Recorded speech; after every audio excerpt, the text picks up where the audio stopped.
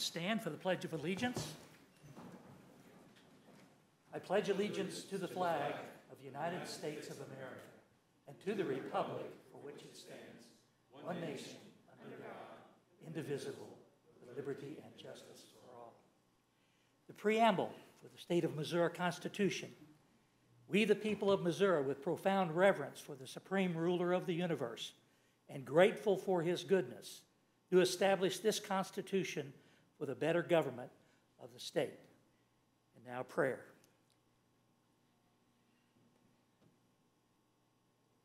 Lord, thank you for letting us come together, letting us be able to see each other. Thank you for letting us be able to consider your will for us. And let us see what the city of Branson can do to get back open again. We thank you for discernment and wisdom. Mostly, we thank you for your guidance. In Christ's holy name we pray. Amen. Amen. Thank you.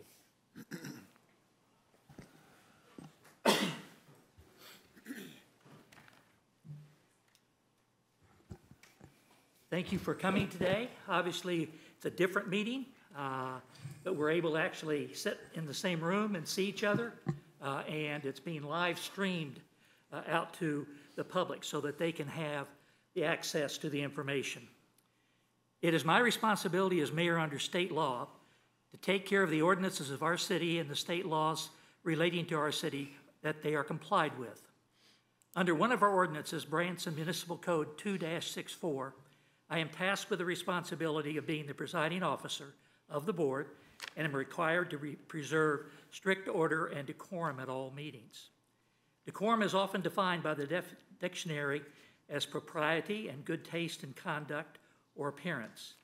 And one of the many definitions of order is a state of peace, freedom from confused or unruly behavior, and respect for law and proper authority. In the past, we've had abstention votes that were cast, and we were elected to represent the citizens of Branson and to vote. We are obligated to vote unless a conflict of interest prevents us from doing so. The common law in the state of Missouri supports this. Although I cannot force any member to vote, no member can be required to cast a vote. I do have the ability to control the order and decorum of these meetings. As a result, I'm announcing under my authority to preserve any decorum at these meetings, order and decorum at these meetings, that any abstention by any member of the board during this meeting can be recast as a no vote. Please remember our public response time of five minutes. Speaker decorum. In order to give everyone a chance to speak tonight, I would like to ask that if you are speaking on an item, that you keep your comments succinct to the topic and as short as possible. You will be allowed to only speak once on an item, and please do not repeat what has already been said by another speaker.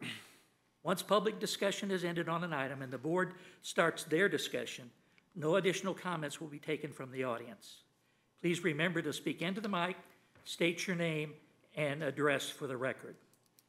Thank you. Please adhere to our five-minute rule guideline. At this time, uh, Madam Clerk, would you please announce the agenda? McConnell. Here. Clontz. Here. Simmons. Here. Akers. Here. Skanes. Here. Milton. Here. Castellan. Here. Your Honor, you have a quorum. Thank you. First reading, please. Your Honor, this is the first reading, reading of Bill Number 5808, an ordinance amending Chapter 58 of the Branson Municipal Code pertaining to personal conduct in closed public spaces and the spread of communicable diseases. Begin with a staff report from Chris Lebeck. Thank you, Mayor, members of the board. I apologize for sitting up here. Normally, I'd like to stand down there. However, there's going to be a number of exhibit, exhibits, and I expect a number of um, hearted discussions today. Um, today, this board is faced with a decision that will affect every single visitor, citizen, and employee that works, plays, and entertains here in the city of Branson. And that decision is going to affect us for the very least the next 26 days. However, good things come to those that wait. Branson is likely going to benefit by meeting today instead of rushing to a decision last week like other area municipalities did when the governor moved up the timetable on reopening. As information coming out of both the governor's office and the Division of Health and Senior Services has been both incredibly fluid and inconsistent. And thanks to the work of Commissioner Nichols and the Theater Action Group, as well as Alderman Skanes, DHSS has finally provided some guidance as to how live entertainment venues in this state are to be treated under their new rules. DHSS did a 180-degree turnaround on Saturday, May 2nd, when they provided new information on this rule. Had we acted last week legally, I would have had no choice but to recommend to this board that you would be required to impose an occupant load uh, restriction on entertainment venues here in the city. Now that is not necessary unless this board feels it is appropriate to protect the citizens and visitors of the city. With that being said, the agenda for today is one part study session and one part decision-making for this board. In order for this board to make the best possible decision for Branson, I want to spend some time going through the current DHSS order and what it mandates, and also what the board can and cannot legally do before we discuss and decide upon a course of action. This is necessary because unfortunately, there has been a significant amount of blatantly wrong and inaccurate information being pushed on social media channels by individuals in this community and elsewhere that is contrary to the authority this board has as an organization and what the DHSS order truly means. So what I want to start with first is I want to go through what this board can do. What's your jurisdiction? what is your authority? So, there's state law, section 79, 380. I'm going to go ahead and pull it up here so we can all look at the same thing. Designates what the board can do in this instance to control communicable diseases. 79, 380 says the Board of Aldermen may make regulations and pass ordinances for the prevention of the introduction of contagious diseases in the city and for the abatement of the same, and may make quarantine laws and enforce the same within five miles of the city. So the bottom line is state law, and you'll notice when this was first passed, 1909, then 1919, 1939. This has been the law in the state as it applies to fourth-class municipalities for quite some time. But bottom line is this gives this board extremely broad authority in what they can do. For example, and I'm not saying this to suggest that this board is going to take this path, but we could do what Gallup, New Mexico is doing right now. We could put up roadblocks at all the entrances and forbid people from coming into the city if we want to. Okay? We can take temperatures of people as they come off of 65, as they enter 76. This statute gives this board the authority to go to such extreme measures. And these are measures that may not sit well with the constitutionalists in the room and the freemen, but under our Constitution, under state law, they are permissible. So the board has a wide gamut as to what they can and can't decide to do today. Okay? So that's your framework. That's what you work under. Now, what is the current law today in the state of Missouri? All right, on April 27th, and I'm going to walk through this here, uh, Director Randall Williams with the Department of Health and Senior Services passed a quarantine order. Okay, I'm going to go ahead and open this up. This is getting opened directly from his website. Make this a little bigger, maybe, so we all can see it. Okay, so what this is, is we've seen this once before. The state comes down with mandates and says this is what the rules, what it's going to look like here in the state of Missouri. This was came down on April 27, 2020. The authority that gives him to do this is 192.020, and it set out a number of very generalized rules. The first thing, right out of the gate, is the new order out of DHSS took away the restriction on gatherings of 10 or more people. That is no longer a mandate in the state of Missouri. So if this board decides to lift that, they can. The second thing to note, this is paragraph one. It says, when individuals leave their homes or places of residence to work, to access food, or to engage in other activities, they, and this is a key word here, they should at all times practice social distancing. You'll notice it doesn't say they shall practice social distancing. So we look at that in paragraph one, but then we go down to paragraph two, and the order contradicts itself. And it says, every person and business in the state of Missouri no longer should, but now shall abide by social distancing requirements, including maintaining six feet of space between individuals.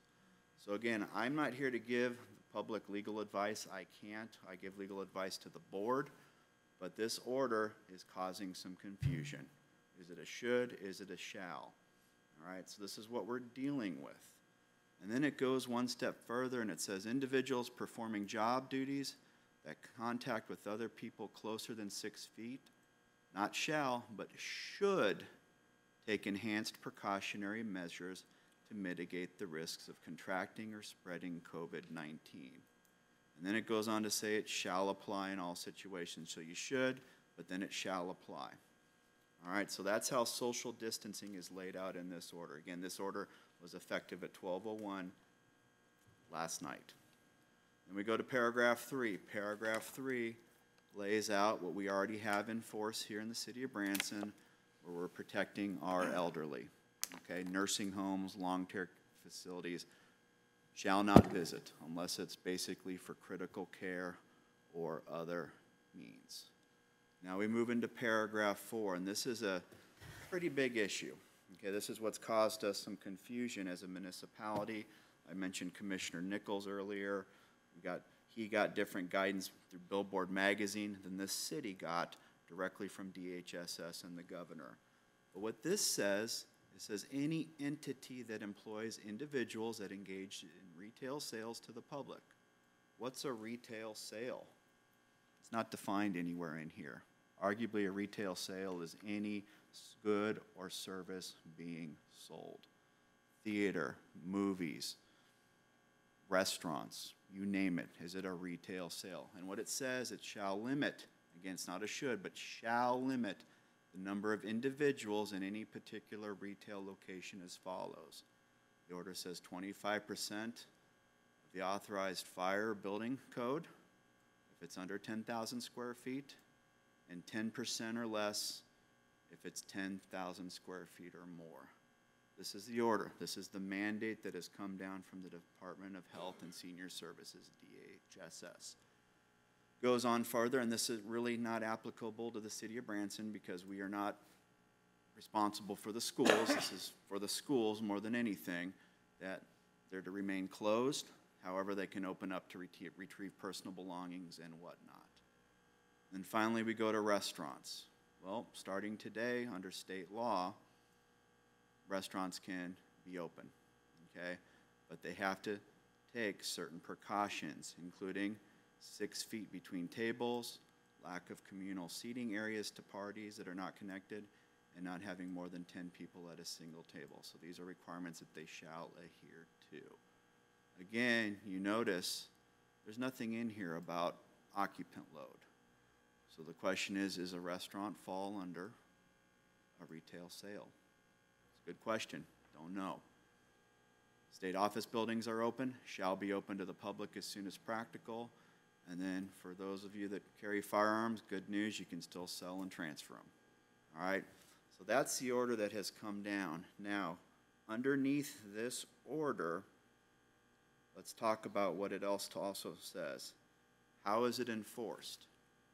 It's enforced by all local and state health authorities. However, and again, this is, goes back to what this board's authority is, nothing shall limit the right of local authorities to make such further ordinances, rules, regulations, and orders not inconsistent with this order, which may be necessary for the particular locality. So we may need special rules here for the city of Branson, all right? This order encourages that behavior. It also says that local public health authorities are hereby directed to carry out and enforce the provisions of this order by any legal means. So what does that mean? Okay, this is one thing that's, we've kind of played hide the ball with at the state level. And if we go up here and we look at state law, I'm gonna pull the statute up here so you understand, that this is not the city of Branson calling this, this is state law. Any legal means includes this section. If I look at 192, 320, if I can make the computer box work. Violation of the law. So that order that came down from DHSS came down under section one ninety-two oh two oh. Okay, and if you get my mouse over there, right there. What does this say? It says, shall be deemed guilty of a Class A misdemeanor. So a person that violates this order that came down from DHSS has the potential to be cited for a Class A misdemeanor. That is up to a year in the county jail or up to a two thousand dollar fine. That is state law. That is not city law, that is state law. So that is the framework that we are dealing with. With this, there are a number of unanswered questions. Dr. Williams, who is the director of DHSS, is an appointee of the governor, okay? In this case, he was appointed by former Governor Greitens. He is a part of the executive branch. And has the head of the executive branch, Governor Parsons has released a lot of information through press releases and his website. And that information is constantly evolving with regards to what the public and the city citizens of Missouri can and can't do under this order. So this is where we are today. This is the framework we as a city have to make a decision under. This order is in effect. The board has the ability to make quarantine laws, so we have to decide how to move forward. So to kind of level set this for everybody, and to make this kind of simple, the board really has a simple choice, and I'm going to pull this up here. I've typed this out so we can all look at it together. There's basically three choices before the board today. All right? This bill that's been proposed, you can vote it down outright and continue with the ordinance as it currently exists. That ordinance will be in effect until June 15th, when the governor's state of emergency expires. So we can leave it as is right now. That's option one. Option two is we, this board, through an amendment, through an motion, could repeal the current ordinance outright and just, we just rely and depend solely on the order that's come out of DHSS and the FAQ by the governor. That's your second option. And then your third option, again, this is what's been encouraged by that order, is we can come up with additional rules that might benefit our unique situation in Branson by considering those in the current bill and other possible amendments. Again, remember, the order encourages that behavior because every community is different. I've heard this statement said quite a bit. Our federal government has made comments to the effect of it's a locally executed, state-managed, and federally supported situation we're dealing with. That's the framework we are being asked to operate under today. So, where does that leave us? So in light of the due diligence, I prepared a bill for you today. Okay, what you have are the ideas that correct some of the inconsistencies in the messaging by our state government. One example is social distancing. They take into account what our very own DHSS and CDC are recommending, face coverings, not face masks and disinfection, and continue some of the themes that have worked in Branson to this point, occupant load, as well as adding some new ones to educate our visitors when they come to visit our city what the rules are. Again, locally managed signage. Our goal today is to culminate what you decide with what the state mandates, to run the two things in parallel. And I'll just point out, a member of our community recently pointed out on social media when he said something to the effect of, it doesn't make sense to bring a blank piece of paper before the board and have them fill out. We would be here all night. So we had to prepare something so for this board to consider. Okay, as you all know, I try to discourage amendments on the fly. I think it's bad practice. So instead of adding amendments on the fly, you have a document that can have pieces removed as you see fit or added in the event anybody likes the Gallup, New Mexico alternative of setting up roadblocks. But the bottom line is, we have a starting point today to work from, and that starting point is based on science and based on the recommendations we are getting from the CDC and DHS.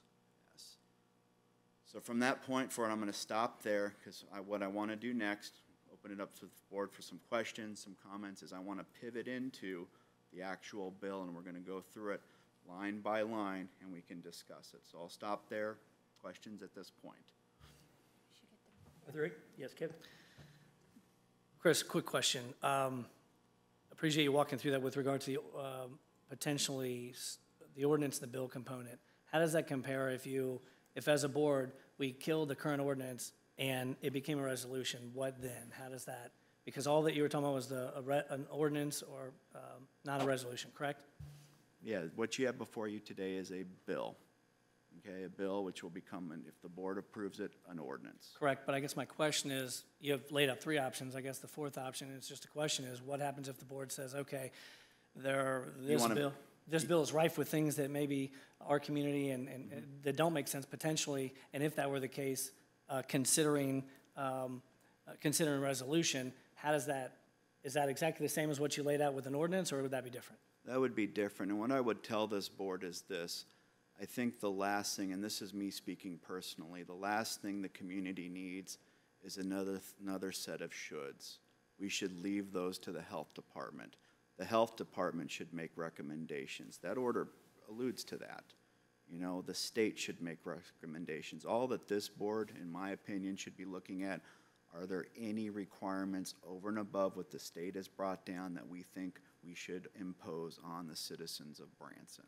And then leave the recommendations, read the guidance to the health department. They're doing, Ms. Marshall and her team are doing a very nice job putting that information out at a county-wide level. Okay, we did a resolution last time, as you recall, Alderman McConnell. I kind of got lost in the noise. And I, and I fear if we do that today, we're going to do the same situation. It's going to be the same situation Thank, again. thank you for that. So the answer though is yes, we could do a resolution. Yes. Thank you. All right, any other questions or comments before I move forward? Mr. Milton?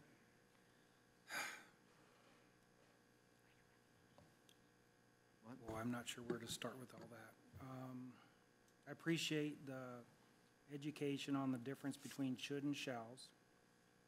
When I read the governor's ordinance and he said that retail would be subject to those square footage guidelines, I read it as a layman to say retail is limited to those guidelines. I didn't read it to say retail is a restaurant, or retail is a theater, or retail is a mini golf. I just read it as it's written where it said retail businesses, but I'm not an attorney. Um, Is Lisa going to be joining us today from Taney County? She is, and Okay, uh, Lisa, the other Lisa just pointed out something. We need a motion on the floor before we go into the bill. Thank you. FYI. You've heard the first, re- fir- no, we haven't heard the first reading of the bill Yes, yet. yes, I read it. I have read it. Okay, that's, okay, I'm with you. Do I have a motion approving this bill? So move. Is there a second? Second. There's a motion and a second. Thank you. At this point in time, uh, anyone in the audience wishing to speak regarding this matter? Instructions earlier were in regard to if you've got something you want to speak to, come up to the microphone, please, and introduce yourself. Mayor, Try to I- social distance, yes. Mayor, I know you controlled decorum, but what would be helpful before we start having public comment, uh, unless Lisa thinks it's out of line, it'd be probably helpful to walk through this bill and the specifics of it, and then maybe open it up to public comment. That way, we're all rowing in the same way, we're all on the same team exploring this option. Okay, just following the agenda, so, thank you. If, ma'am, is that all right with you that we uh, delay? Ma'am?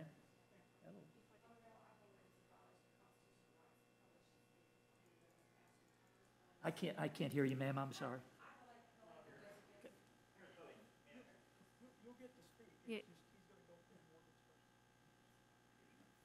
So again, I'm still on the staff report component. I just want to, as a part of the staff report and the explanation to the board, let's walk through the ordinance and then go Ma'am, through excuse me, that before you point. start to speak, did you understand the recommendation from Mr. Lebeck?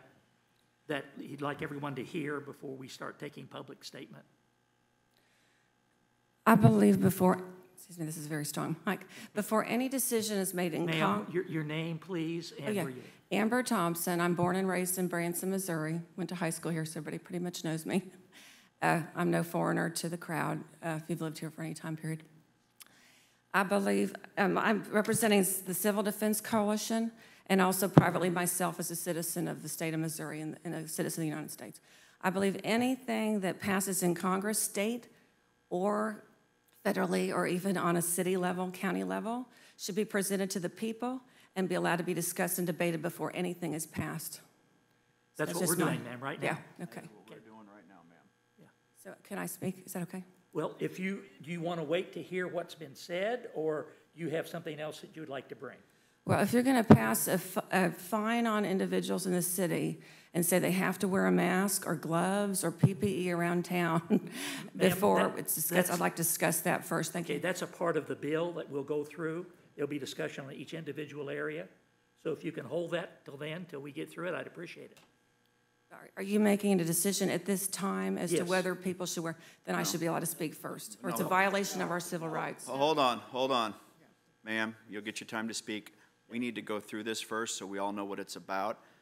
We have, nobody's voting on anything yet. Once we get through the chance and I can present this to you all, I assume, and I'm not going to speak for our mayor, he's going to open it up to public comment and allow you all to voice your concerns as to what's been And presented. that's what will happen, Thank you. ma'am. We- We will get there. And I'll abide by the fact that normally we only allow someone to come to the podium once. That's not the case. You'll be able to come back to the podium. Can I s- remain Thank in you. the audience? Thank you. I'm Can I sorry. remain in the build, in the room? Okay. Okay, because they said it was capacity. Thank you, sir. Thank you. So let me continue. Sorry for the confusion.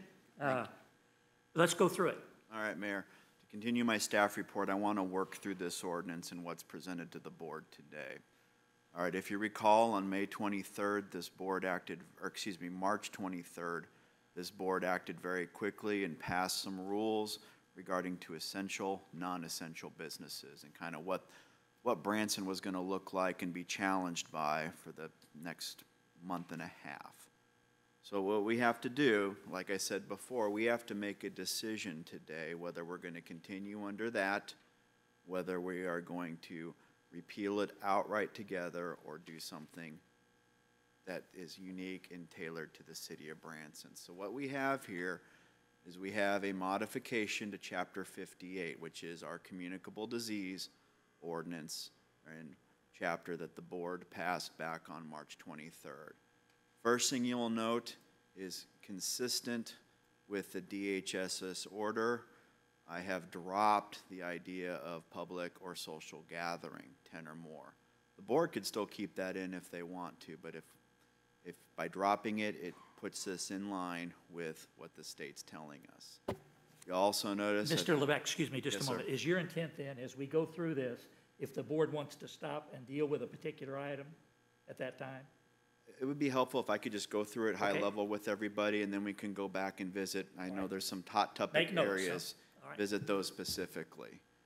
So we're in our definitional section. Second thing, we cleaned up what an enclosed public space means.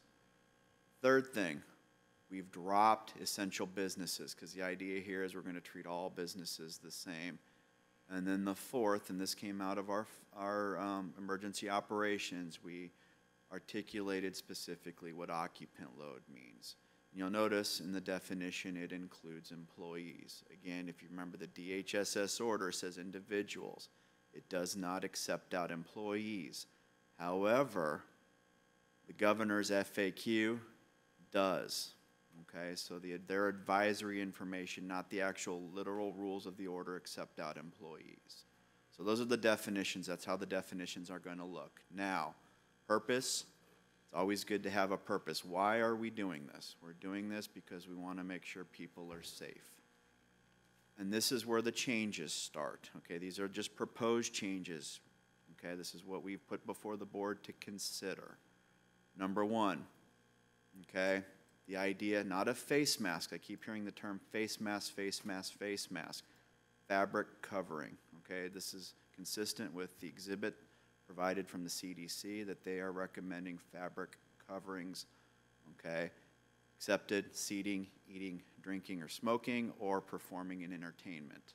Or if the person has a medical condition, obviously, that would prohibit them. So again, this is the first piece. That's the first imposition on an individual in the city. Second thing, we've dropped out occupant load there, and we have maintained the six feet distance, okay? State mandate says still have to maintain social distancing. It's a little unclear whether it's a should or a shall. We've had it always as a shall in the city, so we continue that, but we also put in the exception if that person has job duties, okay, that require them to be in context. So again, these are the personal conduct pieces. We move down further, now we're talking about what about businesses? How are businesses going to be treated under this new ordinance?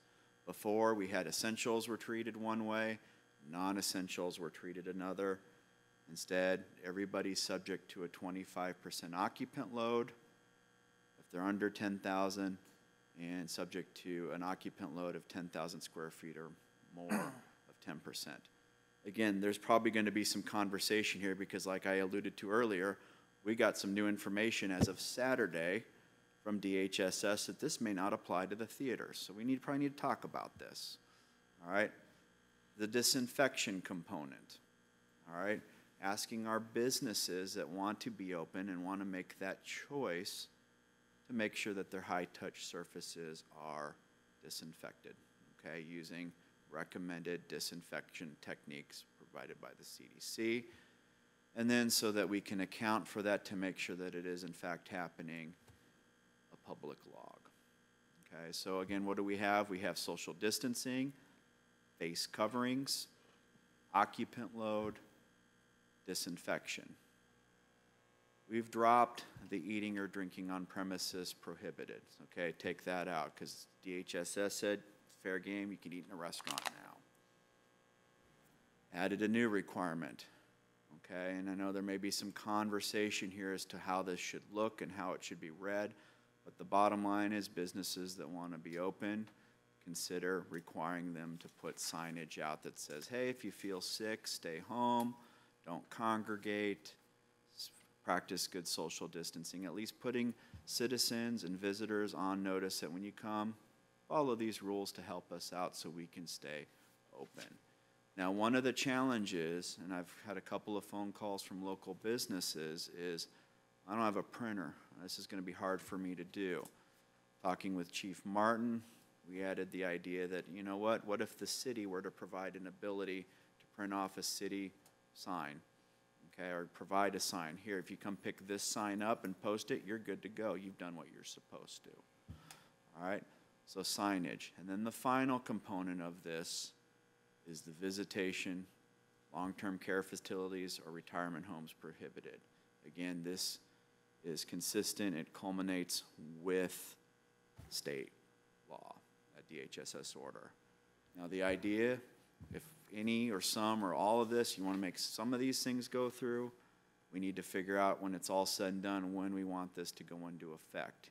You can have this go into effect as immediately, as soon as immediately after this meeting, you can delay it. and that's the board's prerogative when we want this to go into effect, if we want any of it to go into effect. So again, our decision tree today, what's before the board in this bill, is face coverings, social distancing, occupant load, requiring businesses to disinfect that are open to the public, prohibitions on nursing homes and long-term care facilities, signage requirements, and then finally, when should we put this into effect? So that's the bill, that's my staff report, I'll stop there, and we'll see where we go from here, all right? Are we ready then for open public Yes. comment? All right, Lisa, okay. Are the Alderman, do you have any comments? You ready for open public comment? I think, Mayor, will we have comments after the public comment? Will we, then we'll? Yeah, we- Okay, yeah. fine, perfect, thank you. All right, now the uh, podium is open for anyone who wishes to make the comment on the information that's been presented.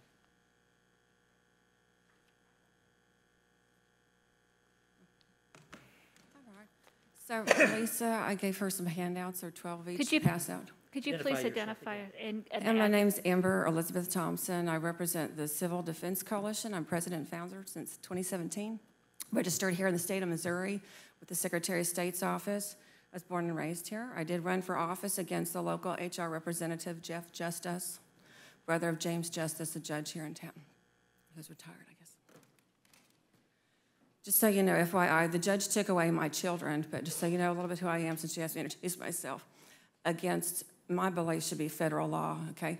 Because genocide, just to educate those in the audience, is not just killing of a citizen by the government. Another definition is taking a child away from one family and giving that child to another family. It's considered the lowest level of moral abuse against its own citizens of the government. Okay, so this has been going on for decades, all right? And nonprofits that are child representation, nonprofit advocates do not defend these children. Uh, we also have a very serious issue with uh, state representatives not wanting to defend us in this issue. Okay, because I, I personally know multiple organizations who've tried to end genocide in the United States. Now, regarding COVID outbreak, there are also multiple civil coalitions showing up across the United States on social media, et cetera. And they're passing information here and there that represents a threat. And these are, these are not social commentary only solitarily. This is commentary that shows videos of TEDx talks that are highly regarded by the media. This is media clips being shown. And these are the five entities that currently are heavily influencing us as citizens, even on a small level. So, and the reason I'm mentioning politicians is because at the back of the pa- pamphlet I gave to the alderman and the, ma- the mayor of Branson is a letter that I got back from Senator Claire McCaskill when I asked her to end genocide in Missouri. Because at this point, uh, Title IV-E and- and D of your Social Security is getting drained by social services, mandating they have a need and creating trivial reasons to steal children. Excuses such as housekeeping. Uh, again, they said that I wasn't breastfeeding my baby or holding the baby bottle properly, and they create a joke, okay? So this has become an ongoing snowballing joke against you and I as citizens, all right, here in the state of Missouri. Claire McCaskill got voted out. We still have, again, opposition to us as citizens, even as a mayor, to speak to the governor or to the attorney general because there's no email contact available to the public. When you call them, they give you a dead end, okay? You may get, luckily get a phone call back, even if you're a large representative group, because I'm also a member of Reopen Missouri, which has now up to 17,000 people, okay, trying to protect our rights and people trying to protect our right to keep this country the United States of America, okay? Now let's go to the other letter I have that I passed out to the alderman. And it's a letter from the Congress the United States House of Representatives that I also ran against back in 2016, Billy Long. He's also been a dead end to your and my, and even possibly the mayor and the alderman's decision to try to speak with him. He asks and requests heavily in marketing on the media and to the news that you have to pay up to $1,200 plus a flight ticket and hotel just to speak with him. This is supposed to be a public servant position. And again, I'm speaking today because our citizens, even including the mayor himself and his family, are being cut off of, of proper communication with individuals who can protect us. Governors are in direct communication and can be with the President of the United States. So we're asking today, from the, as a Civil Defense Coalition, if you'll look at this piece of paper here, because we've already spoken, Reopen Missouri uh, candidates have gone to the Capitol. Okay, we're requesting that the mayor have a meeting with the governor and press for it heavily, and that the citizens of this town and county will help press for that as well. In regards to the situation, because we believe, believe that there, will, there is a constant pressing of the media incessantly of pressing for tracking, citizens as patients. And as a, again, in representation of our people, it's a constitutional violation for any medical procedure to be enforced and forced upon any citizen, for them to have to uh, behave, if anything, especially of demarcation of their flesh. Amber, you are less than 30 seconds. Yes, well, this is very important. So I do hope you do also have a chance for the people who are running for office to be allowed to speak and be debated. If we can, I'll actually record it and send it to the media in this location, because the people are not even aware who they're electing. This letter says, Amber? medical, just one second, I'd like to at least barely. you're- You're finished, Amber, I'm sorry. I also gave the mayor a letter that says involuntary, hold on, just, You're- uh, not even 15 finished. minutes. I'm sorry. You've spoken for five Five minutes hours. is up. This is involuntary demarcation of the flesh. An RFID law has been tried, to just one second, I have, Nope, you're finished. well, okay, just so you know, I'm leaving and I should not be arrested because I'm trying, we have a law to present to the representatives to end uh, microchipping your flesh. Thank you. Amber, I'm, I'm sorry that the focus on this meeting today is in regard to our ordinance. And I would hope that any discussion today would be in regard to that ordinance. Uh, And the uh, issues for a public meeting, we have a meeting on the 12th. And at that time, there would be available public input. This is a special meeting on the ordinance. Yes, I'm uh, Camille Lombardi Olive. I am a candidate for Congress in the 7th District, and honorable board and public. Um, My concern, and the reason I'm here, and I look like I'm in this clown getup, is because I've worked, You need to get closer to the microphone, oh, ma'am. it's because I've worked 10 disasters. Hurricane Katrina, Joplin tornado, Hurricane Hugo. I do have some familiarity with the idea of cross-contamination, especially in a field where you don't know what is there, what can potentially contaminate the public or yourself, or how you can spread it. My concern is with the masks. Now, I'm assuming the ordinance for the mask is to prevent me from giving it to you, which, by the way, I'm negative. I had the test last week. But I'm assuming that is the reason you have the mask ordinance. It's so that we don't spread it, because I could tell you, these cloth masks and medical studies have come out and said they will not stop the virus from getting to you, especially if you don't wear goggles either. But, um, so my concern is, you have this ordinance, you're gonna tell the citizens, okay, you have to wear a mask now. Who's gonna contaminate these masks every night? Because when you go out in public and you're wearing this mask, and somebody's coughing or sneezing, if they have COVID 19, the potential for cross contamination is high and likely. So, once again, you're going to have an ordinance, I understand you, you, it's for the public concern and safety, but if they're not uh, decontaminating their masks every night, then you are creating a potential for cross contamination. They touch the mask, they go into a store, they touch something. They touch a keypad, somebody comes behind them, they touch it, they touch their nose. That's cross contamination. Do you know you can carry contaminants on the bottom of your feet? When I work a disaster field, we don't wear our shoes from the field into the building. We take them out, off outside. The reason is you don't know what's on the bottom of your shoe. So, there again, my concern is what is your main, you know, what is your main um, reason for enforcing this? If it's to protect other people, not so good.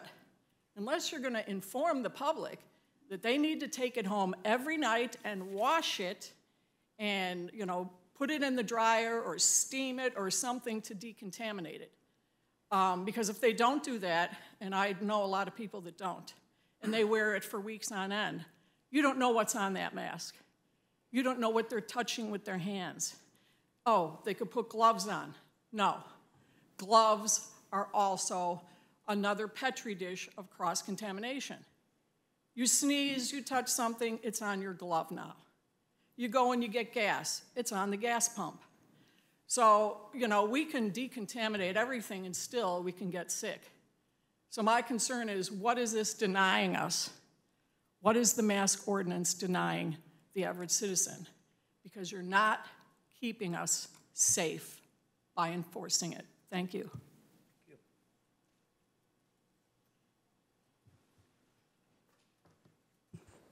Any other? Yes, Dr. Klontz? Sure. So from my perspective, the, you know, I think that's a great lesson to say that the mask in and of itself is not the end-all in terms of preventing infection from COVID-19. It does, however, afford protection from me, should I sneeze or cough, for these individuals in this front row from being covered with my respiratory droplets, and thus me being that vector for infection to a wide number of people. Now, yes, in fact, you know, if you don't use a new mask or don't sterilize your current cloth or fabric mask, it is potentially a vector for contamination for other surfaces. But if you look at the recommendations for, for prevention, it's also, it also entails, you know, cleaning surfaces with disinfectant, just as this ordinance entails, or using hand sanitizer. So um, I, I applaud you in, in doing your research. It, it certainly does speak that there are multiple modalities that are required to prevention of this disease process, not just the mask for spread, you know, for prevention of spread from respiratory droplets. Thank you. Yes, ma'am. Excuse me, Hi. Ed, just for clarity, in this meeting, are we then addressing the speakers after they talk, or do we wait for them all to? Well, I think Dr. Klontz did that for clarification on, on the mask with the lady who obviously knows what she's talking about. And uh, I, I- I think we play it by ear, Larry. We just try to see how it works. Okay. And, uh, yes, ma'am. Hi, my name is Kelly Slaybaugh. Um, I have, I grew up here, moved away, came back because it's such a great place. Um, and uh, I wanted to come and first thank you gentlemen. I emailed all of you and several of you responded. Thank you, Mr. Mayor, as well. Um, I appreciate the work you do. I do not envy your job. And I appreciate that you guys are desiring to represent our city and, and keep our city in good standing. Um, I, I'm not sure, can I ask a question as well um, during this time? We may not know the answer, but you can ask it. Well, just one thing I noticed in this is nowhere in there is our churches mentioned. And I know there are many churches that have made the decision out of love for their congregations to go ahead and close down for the time being, but there are there's also a lot of unsurety and pastors desire to be law abiding and they don't know what to do because there is no clear language saying that churches are protected. Um, if churches are added to the language of this, and perhaps I just missed it, honestly, I could read that far, but um, I would remind everyone that restricting assembly to worship is against the First, the First Amendment to the Constitution, and that should be taken seriously, as I know all of you guys do. Um, but really, what I wanted to address is I look around here and I see a lot of choices that have been made today. Most of you gentlemen, myself, most of the folks in here have made the choice to not wear a face mask. That's fine. There are others who have chosen to wear a face mask. Personally, out of respect for others in many places where I know I'm going to be close proximity to others, I do choose to wear a face mask out of respect for them. But choice is what's so valuable, and it's the one thing that sets our nation apart. By putting this ordinance into effect, you are removing the ability for citizens to choose for something that honestly is not really proven either way by re- reproducible data. We have a lot of you know, first level data coming in that says, well, it may, it may not. We have a lot of opinions, but we're not seeing a lot of reproducible data that shows that this is indeed actually even effective to the desired end.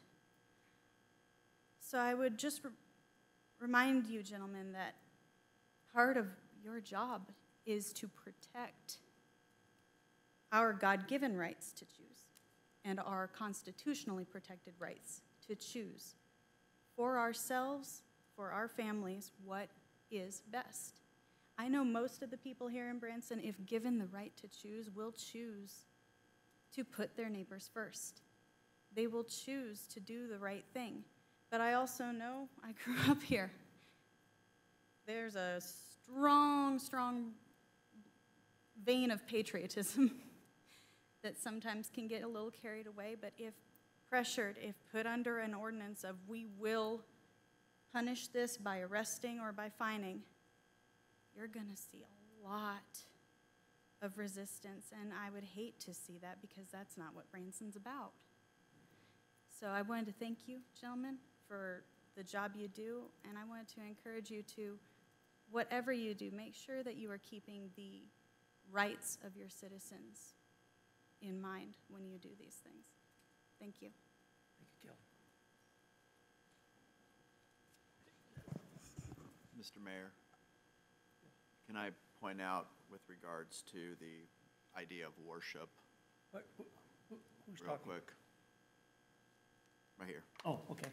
Yeah, um, Kelly brought up a really good observation about worship, places of worship, and you just nuked what I had up there. I just wanted to pull up the state order that came out of DHSS. You will notice a line of this is highlighted. And it says that individuals may go to and from an individual's place of worship, provided that limitations on social distancing are properly adhered to. The or, the bill that's before the board today doesn't touch places of worship because it's already been touched by this rule that's put out by DHSS. So again, state's already made a rule. I just want to point that out for clarification for those of you in the gallery that have concerns. Thank you. Thank you. Yes, My name is Pearl Haining.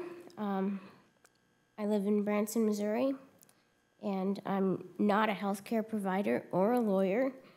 Um, however, as someone with an easily compromised immune system, my responsibility to be informed and vigilant in the protection of my health and consideration for the health of others is something that I take very seriously. And I'm also very familiar with our Constitution um, because it's that document that attributes God given value to every individual, including handicapped individuals like myself, which is not the case in many other places. I'm very aware of that and grateful for it. A lot of the decisions that have been made in recent months were motivated by fear due to a lack of data. As more data becomes available, the less cause we have for fear. So I'd like to share two important statistics before I begin. One, the initial reason that any restrictive measures were enacted was to lessen the potential burden on our hospitals. That effort was so successful that tens of thousands of employees at hospitals and clinics across the country have now been furloughed or had their hours cut, including in the Branson community, due to a drastic reduction in patient volume. Two, officials were extremely cautious because health authorities didn't know the exact danger this virus posed. But as of May 1st, the CDC has now said that the hospitalization rate of COVID 19 is consistent with recent heavy flu seasons. Yes, we should continue to vigilantly care for our health, but our actions do not need to be guided by fear any longer. So, with those two things in mind, I'd like to quickly mention my immediate concerns for the Branson community going forward. One, although well intentioned, mandating face coverings for asymptomatic individuals is ill advised. Regardless of the CDC's recent condoning of that concept, there is significant data showing negative effects associated with incorrect and or prolonged usage of face coverings. And if an individual cannot wear a mask for legitimate reasons, to force them to publicly disclose those reasons at any retail establishment is a violation of both HIPAA and the ADA. On a more practical level, several individuals have asked me to communicate how much they love Branson, but how adamantly they would refuse to visit under these conditions. Furthermore, mandatory signage is not necessary, as most individuals are acutely aware of their health right now. So, the vast majority of people who choose to visit Branson will be unusually healthy and cautious but eager to experience some degree of normality. Whether or not to wear a mask should be an individual decision. Two, while social distancing may offer good guidelines for this situation, it cannot legally or practically be mandated. If healthy individuals want to have a conversation, they have an inalienable right by basic constitutional freedoms of speech and assembly to do so at any distance.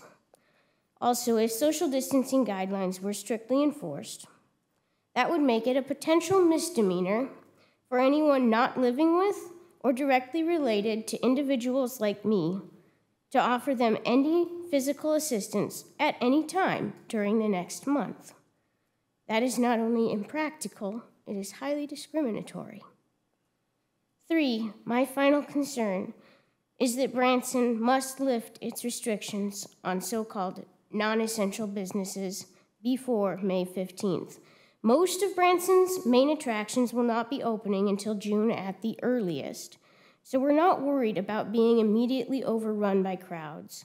But the current restrictions are prohibiting many businesses and shows from beginning necessary planning, training, and rehearsal as they respond to this situation.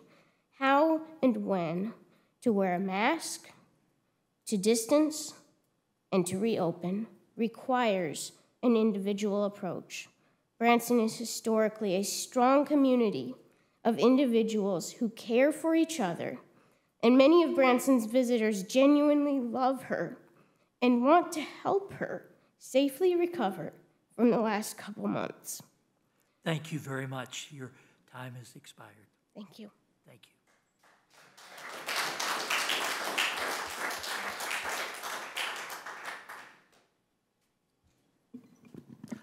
Jeff Seifried with the Branson Lakes Area Chamber of Commerce and CVB.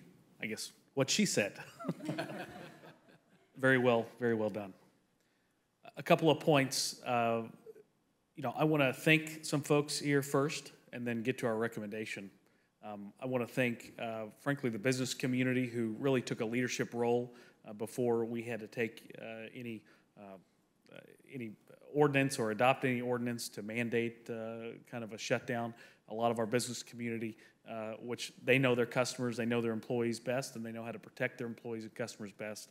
And many, many, many of them, if not almost all of them, took immediate action uh, before uh, we as a community, uh, as a, a legal body, had to, to, to mandate a closure for the safety of guests and employees. So I want to say thank you. They made a very hard decision at that time.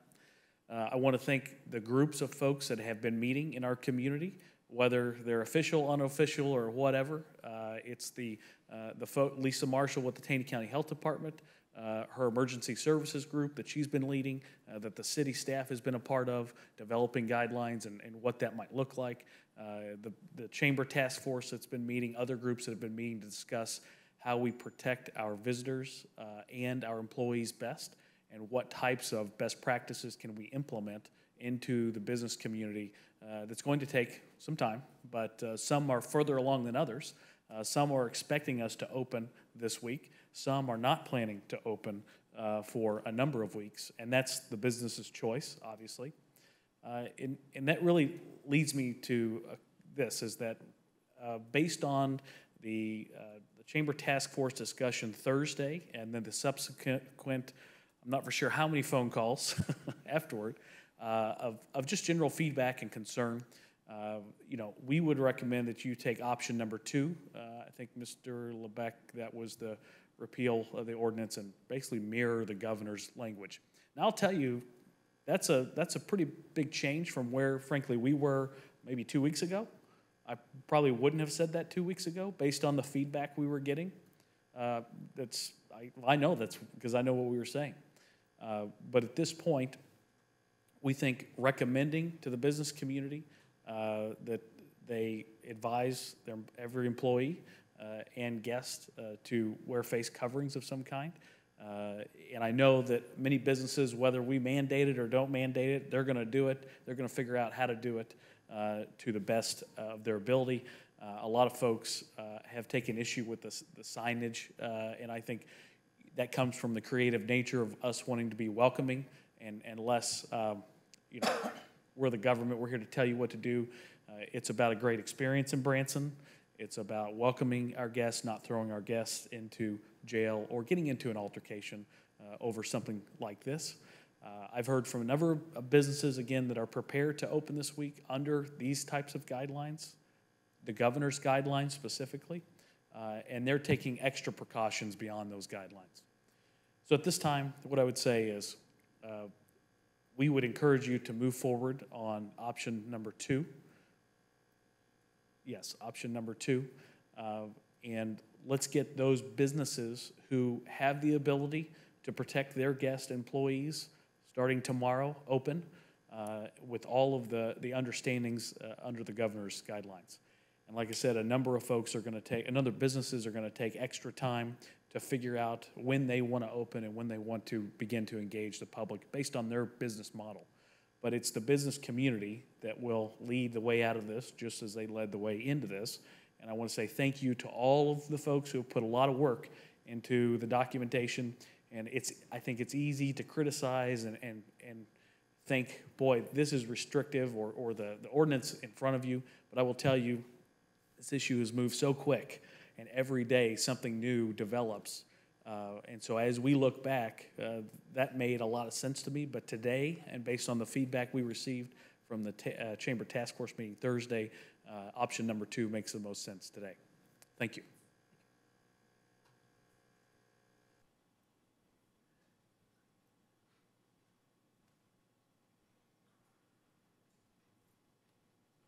My name is uh, Chris Meyer, uh, 269 State Highway, State Highway 248. Um, I just want to concur. I think after seeing the three options, I would agree with uh, Mr. Seifried that option two is makes the most sense, and it makes the most sense just because when you guys pass a different ordinance, and why we had even this emergency meeting today, things are changing.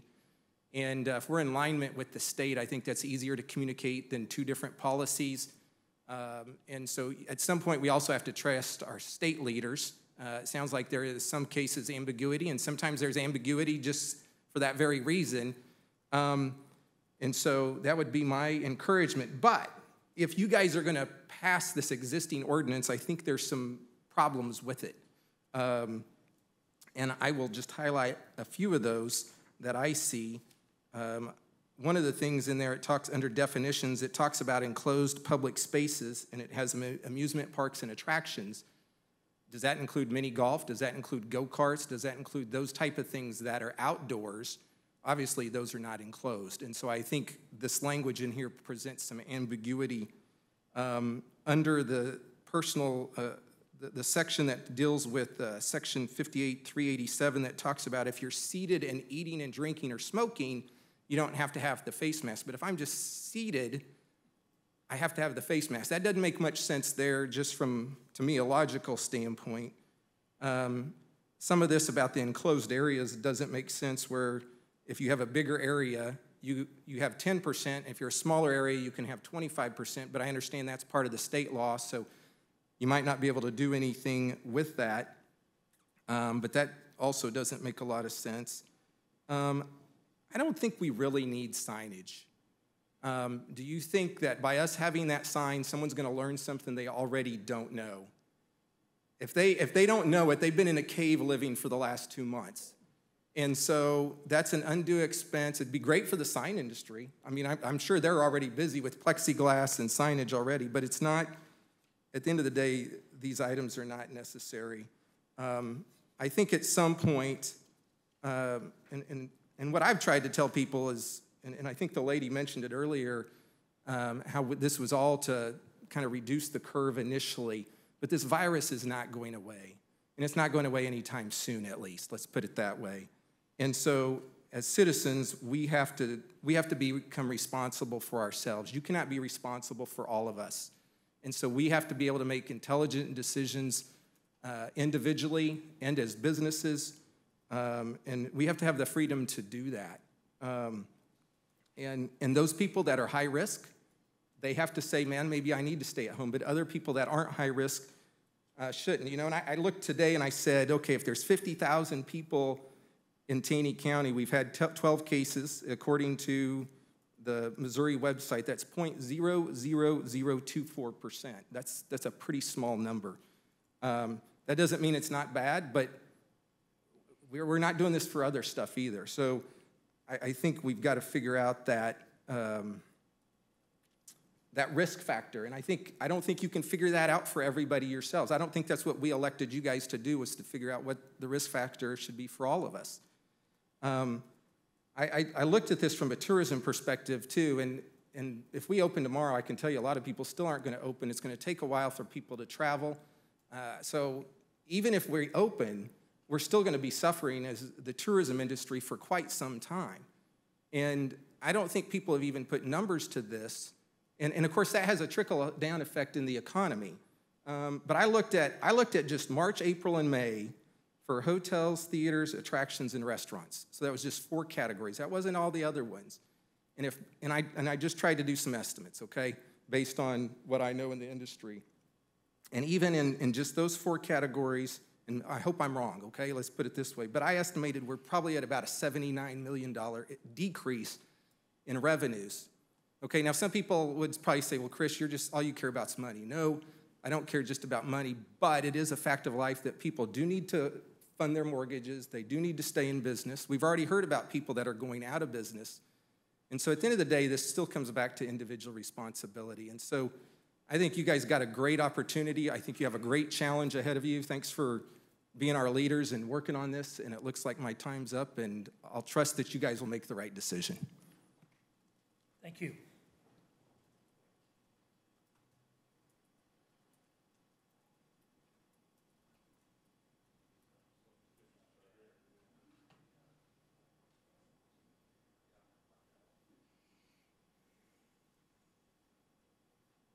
Hello, my name is Clark McBratney. I'm a lifetime resident of Branson, Missouri. I'm a veteran.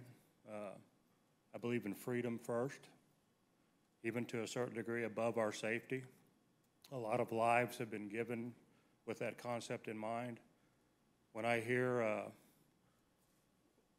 you know, laws that were written in 1909 being quoted in Gallup, New Mexico, which has nothing to do with us, and it's probably a huge violation of their rights there.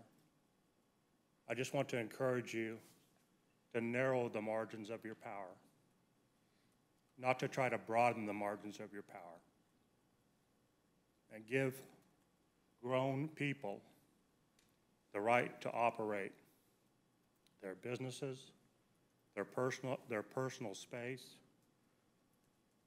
We, we, we reacted to this thing originally.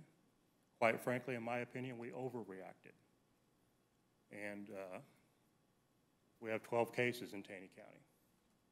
So my, my main point is to say, remember that you, even if you have the power from some archaic law, that this is all going to come back around someday. There's probably going to be legal action. There's going to be a lot of things that happen as a result of this. But you should consider narrowing your power, not trying to broaden it. That's all I have. Thank you all. Thank you.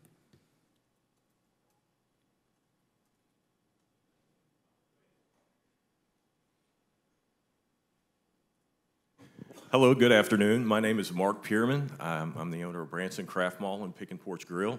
And uh, I'm just going to reiterate what some of the others have said. I encourage you to vote for option two.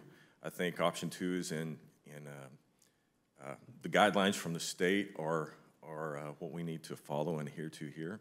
Also, there's a couple other questions I had. One thing that you said, um, this ordinance would affect uh, up to five miles from the city limits. Is that correct? Didn't you say that? Mayor, can I go ahead and respond? Go ahead.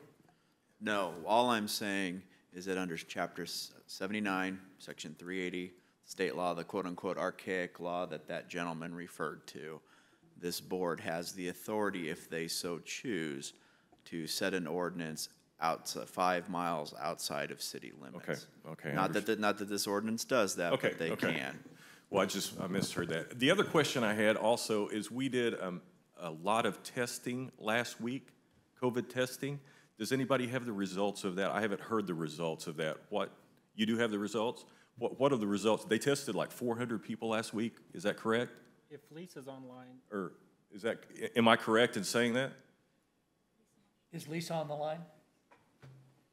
Lisa heads up the health department. and she- Okay, great. I, I was just kind of wanting to see what the results would be from the testing that we had, had done last week here in Taney County. Sure. Can you all hear me okay? Yes. And that's all I, that's all I had. Thank you all very much. So could we We- identify, Lisa, would you identify yourself for those listening, please? Sure. My name is Lisa Marshall. I'm the director of the Taney County Health Department. And we tested, uh, it was a partnership with the Department of Health and Senior Services and our mobile testing unit partners, which include Cox Branson, City of Branson, Mercy, Jordan Valley, uh, and Taney County Health Department. So we were able to test 340 individuals from uh, largely Taney County. We had some Stone County residents and also some Christian County residents as well.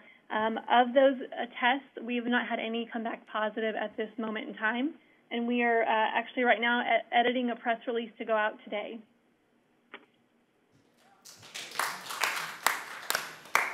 Lisa, would you share the parameters of those tests for us so that they're a little different than the tests that are being done in other locations? So these were uh, just a, a regular COVID-19 test. They basically tested whether somebody had COVID-19 in that at that point in time. They were not an antibody or serology test, but just to strictly see uh, who has COVID-19 right now. And so um, I just want to point out that we are considering this to be a public health win. Uh, so when public health does its job is when you don't see bad things happen. Um, so our numbers around having 12 um, is because our community has been very aggressive and very proactive in taking precautionary measures. So we are considering this to be a public health win. Thank you. Mhm.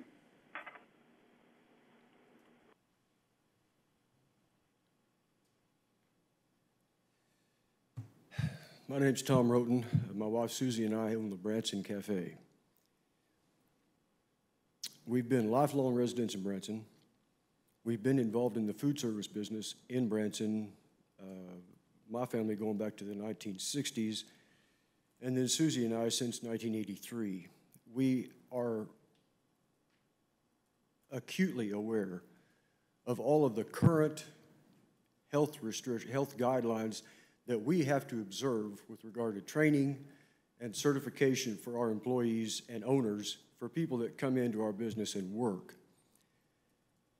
Anecdotally, I can tell you that my experience out in the public is not everybody observes the same level of hygiene that we do because I've seen gloves misused.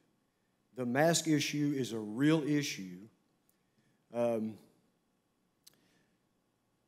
I would reiterate what several of these people have said. It seems like we're all pretty much on the same side here. I would encourage you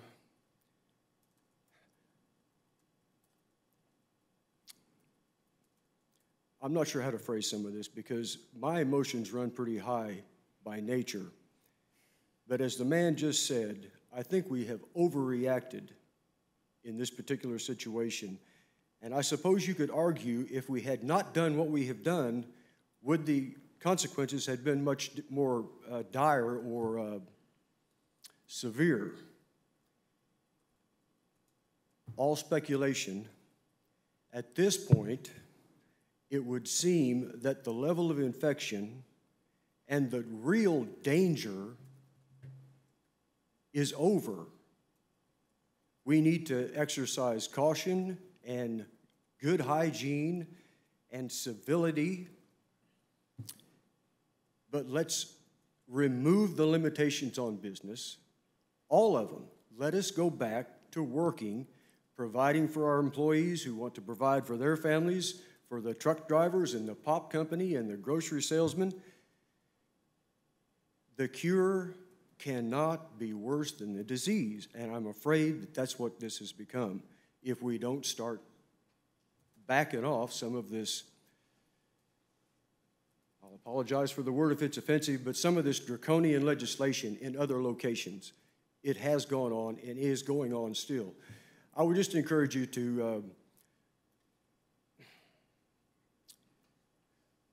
give the operators here in town credit for being reasonable and, and uh, conscientious. And let us go back to work. Let us own our businesses like we own our businesses. Thank you very much. Thank you.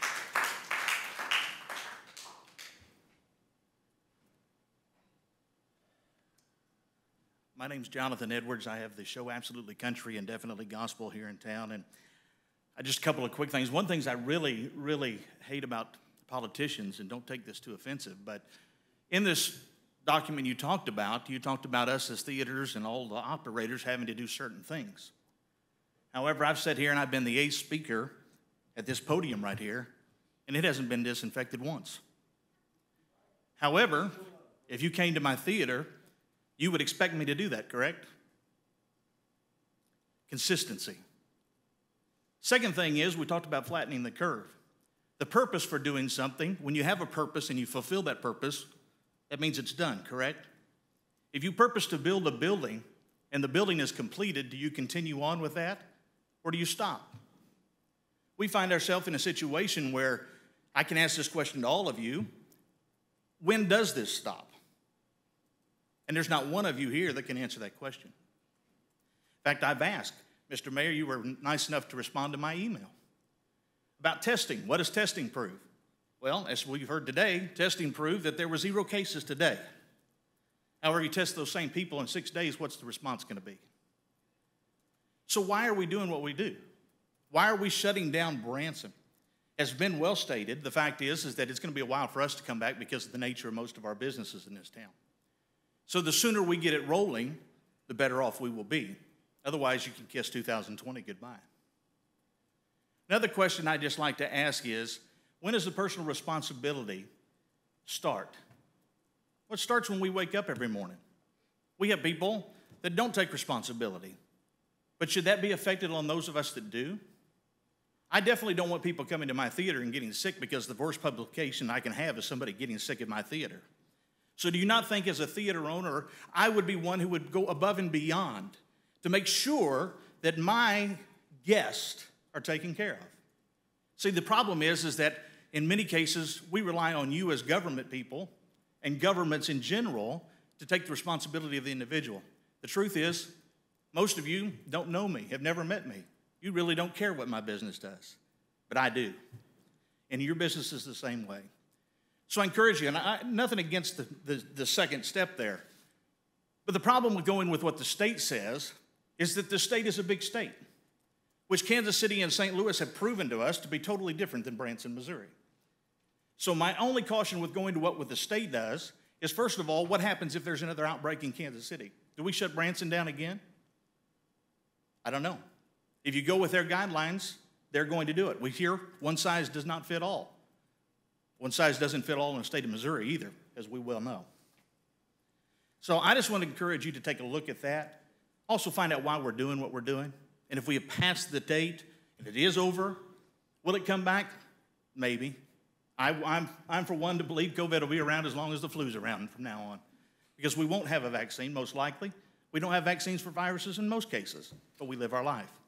And as I ask you, Mayor, in the, in the statement is, we all that work in Branson know that come fall, we have a bunch of people get on a bus and come to our town. Elderly folks. And one example, when I worked at Sight and Sound part time, we called the ambulance out seven times in one week. Why? Because they had the flu. So the next time that happens, because we have the flu and an outbreak on those buses, we shut the town down.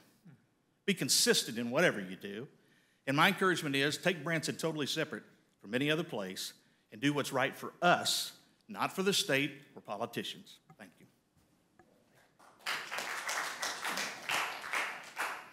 Mr. Mayor, can I make a comment real quick, just so we're all on the same page? That DHSS order is statewide.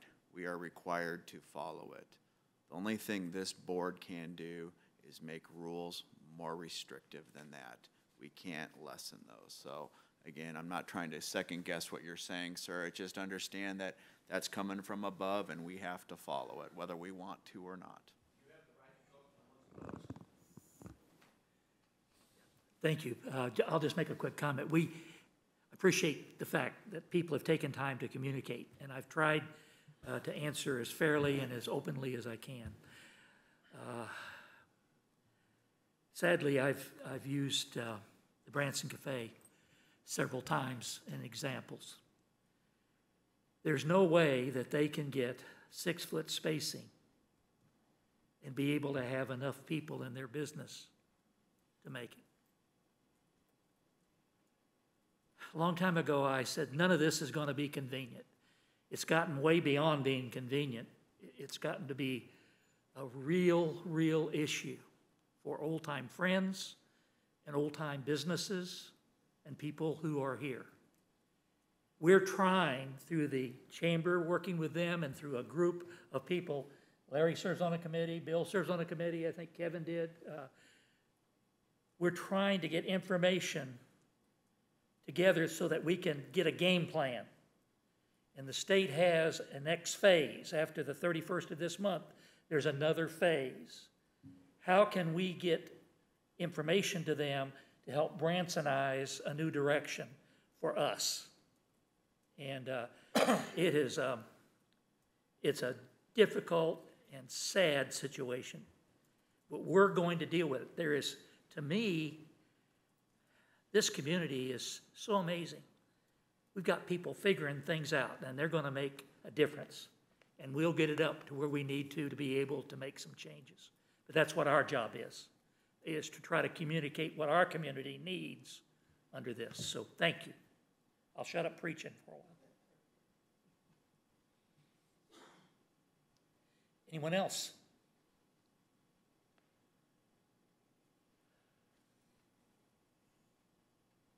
Well, thank you all for your input. Uh, Thank you all for uh, joining us. Now it's time for us to do something. And so, at this point in time, we have a motion on the floor and a second. Excuse me. Yes. Someone wants to come forward? Okay.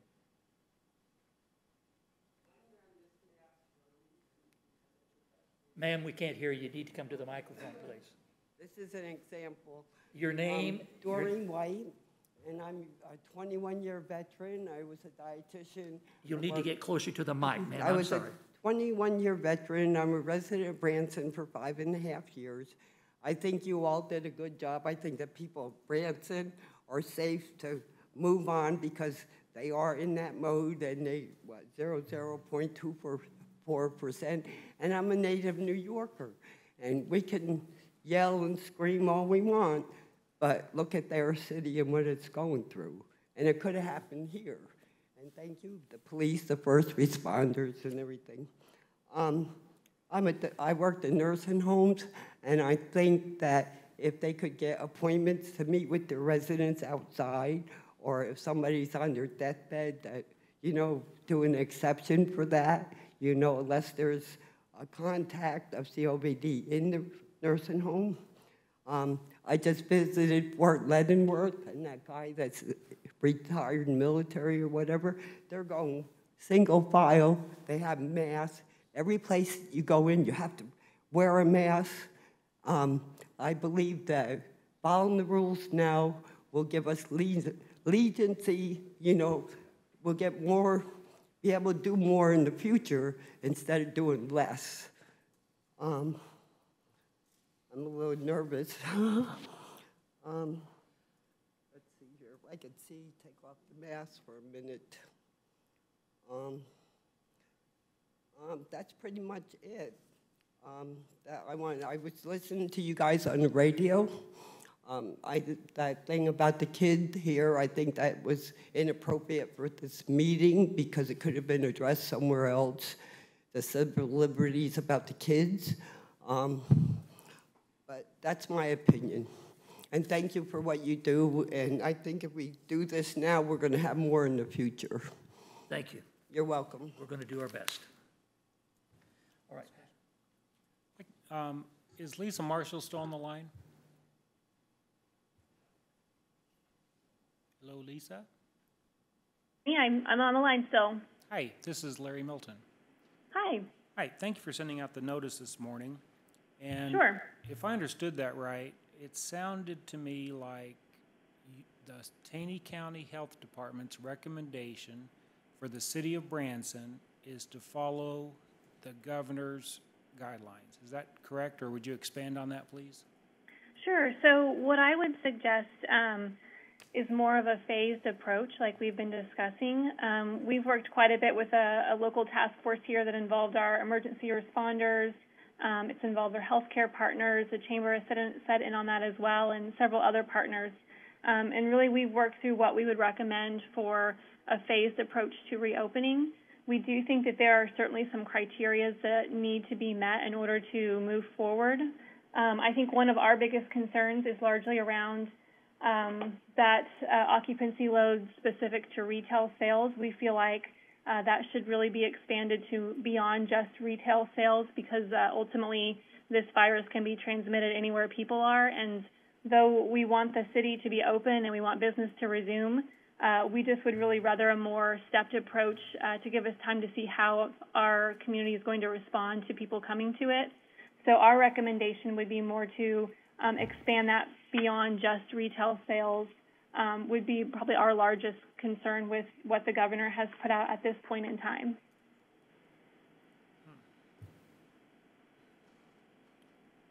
Um, Okay, so for clarity, what you're saying is, um, you're following, you're suggesting following the governor's, governor's guidelines, except where the governor set, um, where he separates the ten percent for over twenty-five thousand square feet under Mhm. twenty-five thou, or over twenty-five thousand, ten percent.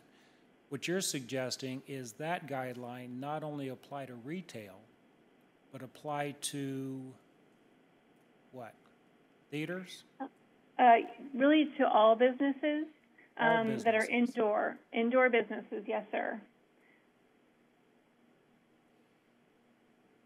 And then we are also um, big proponents of the disinfection piece that has been um, placed in the ordinance that uh, Mr. Lebeck has presented as well.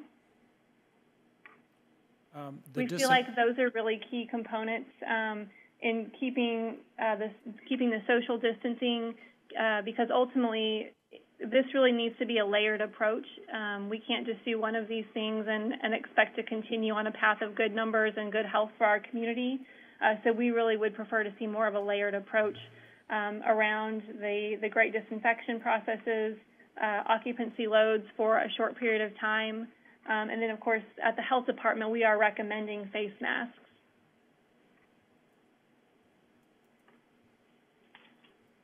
Okay. Well, But we do believe the social distancing is a very key component to all of this. So the, okay, so that is a, a distinct difference between what the governor's guideline is for the square footage requirement and what Taney County Health's guideline is for the square footage restriction. Yes, sir. Okay. Thank you. Lisa, I have a question if I could. Um, Sure. The, so just a question on that. I, it, I struggle with this with regard to the six-foot social distancing. I'm a simple guy, I kind of keep it simple. If six feet distancing is sort of that magic number that we're looking for, can you help Mhm. me understand, instead of, kind of like what the state guidelines have done except for the retail, can you kind of walk me through, if we're keeping six-foot social distancing, and six foot is sort of that magic number, why do we then have to look at this sort of, I would say, more comprehensive and confusing um, 25% of occupancy up to 10,000 square feet and then 10% beyond that? It seems to, number one, make it more difficult to manage. But also, I'm just struggling with as long as folks can stay six feet apart, can we not let business owners decide whether it makes sense for them to open up and that they can maintain that six foot distance or they can't? And let me just add this and I'll let you answer, but My small office is 1,500 square foot. If you go to the back and look at the occupancy from the fire department, it says 15. If you take 25% of that, it's three point something. So I can have three people in my office. It doesn't matter about my office. I'm using it as an example. Mm-hmm. But if you take the guidelines from DHSS and the frequently asked questions, it talks about the calculation of 1,500 square feet divided by 30 multiplied by 0.25, and that's 12.5. So it's confusing because now I could have 12 people in my office and not three people in my office. And my concern is I think a lot of times the, the, the occupancy load that the fire department says they came in when I opened uh, eight years ago and said, How many people are going to have in here? And I said, uh, Probably not more than 15. Boom, it says 15. So I just, I'm at an effort to keep things simple. I go back to my original question, if you would, and just help me with if six feet is the magic distance, your opinion, why do we need to complicate it by the 10%, 25%, over 10, that kind of thing? If you can help me with that. Thank you. No, that's a great question. And so the 25% and the 10%, they come from that mandate. And so that's not something that we can change on a local level because it is, uh, we can only be more restrictive than that. Um, so that's really the Department of Health and Senior Service at the state level and the governor at the state level.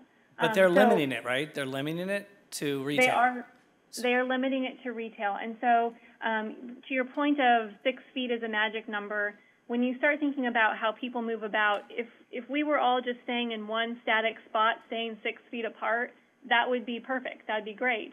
But the fact is that when we enter stores or we enter theaters or we enter wherever the place of business is, we're not just staying in one spot. So we're moving about, we're touching things, we're using facilities, using restrooms, um, touching doorknobs and handles. And so the more people move about, the more opportunities there are for transmission of the virus. And so that's where that occupancy piece comes into play as well, is that if we were all just standing in one spot and we're not moving anywhere else, then that would be appropriate.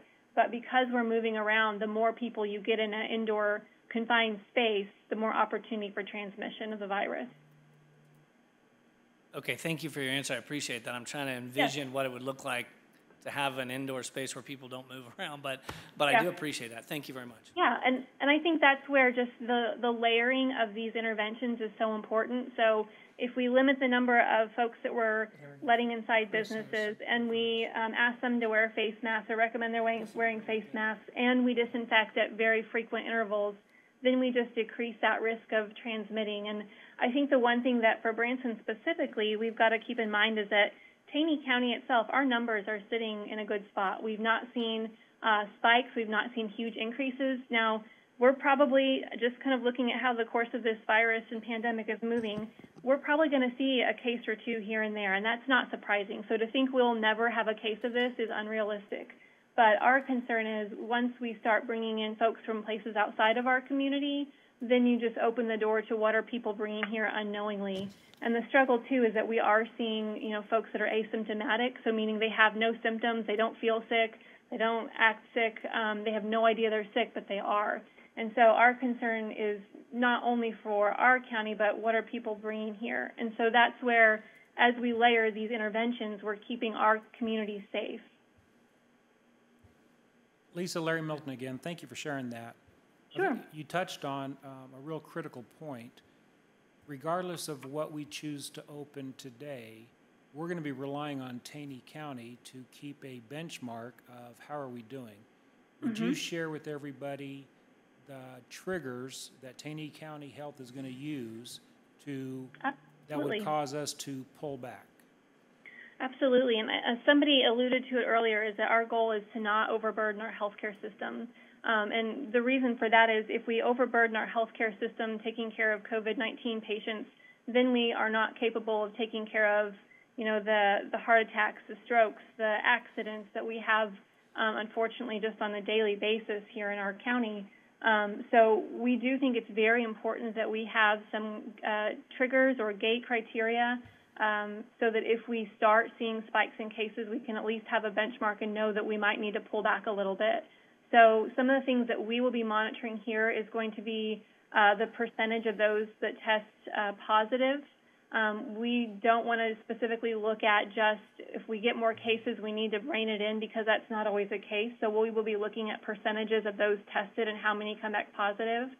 Uh, we will also be keeping an eye on what we're calling the Taney County footprint. And so that is just keeping an eye on where we know uh, other locations where individuals come to Taney County from. So we'll be keeping an eye on those areas to just kind of know what's going on as far as their case counts and how quickly those are increasing. We will also be watching the capacity of our ability to test everybody that needs a test, and then also the capacity to do contact tracing. So that means anytime somebody tests positive, we launch into what's called the disease investigation where we do contact tracing. So um, if someone tests positive, we find out where they've been, who they've been in contact with, um, and just make sure that we can alert folks that they may have been exposed and then ask, ask them to take appropriate measures. Um, another really important piece to this is going to be our hospital capacity. So do they have enough vents and ICU beds and, um, and a decent patient count so that if we do see a spike, they can manage this?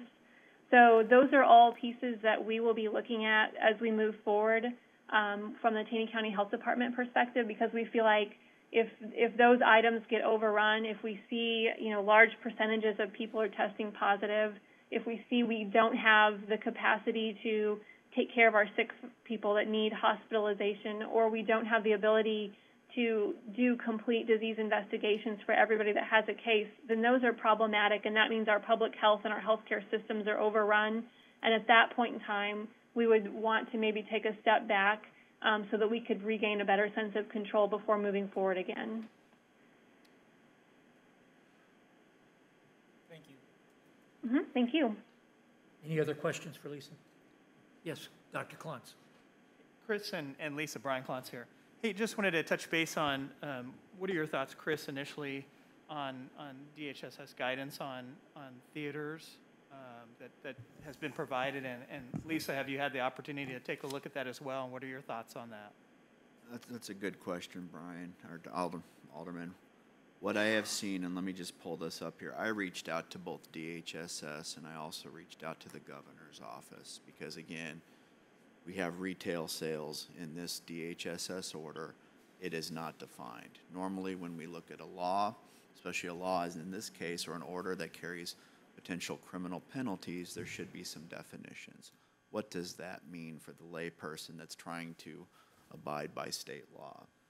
Um, when I reached out to DHSS, they responded to me, um, and their email back to me, this was on Thursday, uh, April 30th, they said, quote unquote, and I'm going to quote specifically from the email, the phrase is not defined. We suggest using the common usage of retail to determine if an establishment is a retail space. For example, a grocery store, hardware store, etc. is a retail space, but a gym is not. Ultimately, this will be up to the LPHA, and I believe what they're trying to say is the local public health authority, to determine as they are the enforcement agency for the order. So that's how DHSS responded to my request for information on Thursday. I sent a similar email to the governor's office. Ironically, a lot of the contact information was stripped from the website, so I had to go through an info email. And their response was, and I quote, We have added a few lines of clarification to our fact page in regards to businesses. They provided me a URL, and I can show you the URL. If you have a specific situation that is still not clear, please let me know and I will flag it for our team. Our communications team inbox can fill quickly, so feel free to email me directly at stephanie.whitaker at governor.mo.gov. Okay, so that's the communications that came into the city. I learned um, through Alderman Skanes and through Commissioner Bob Nichols and the theater group that um, I guess Billboard Magazine, of all places, they reached out and they got a different response. And I'm actually going to go pull this up so you all can see it.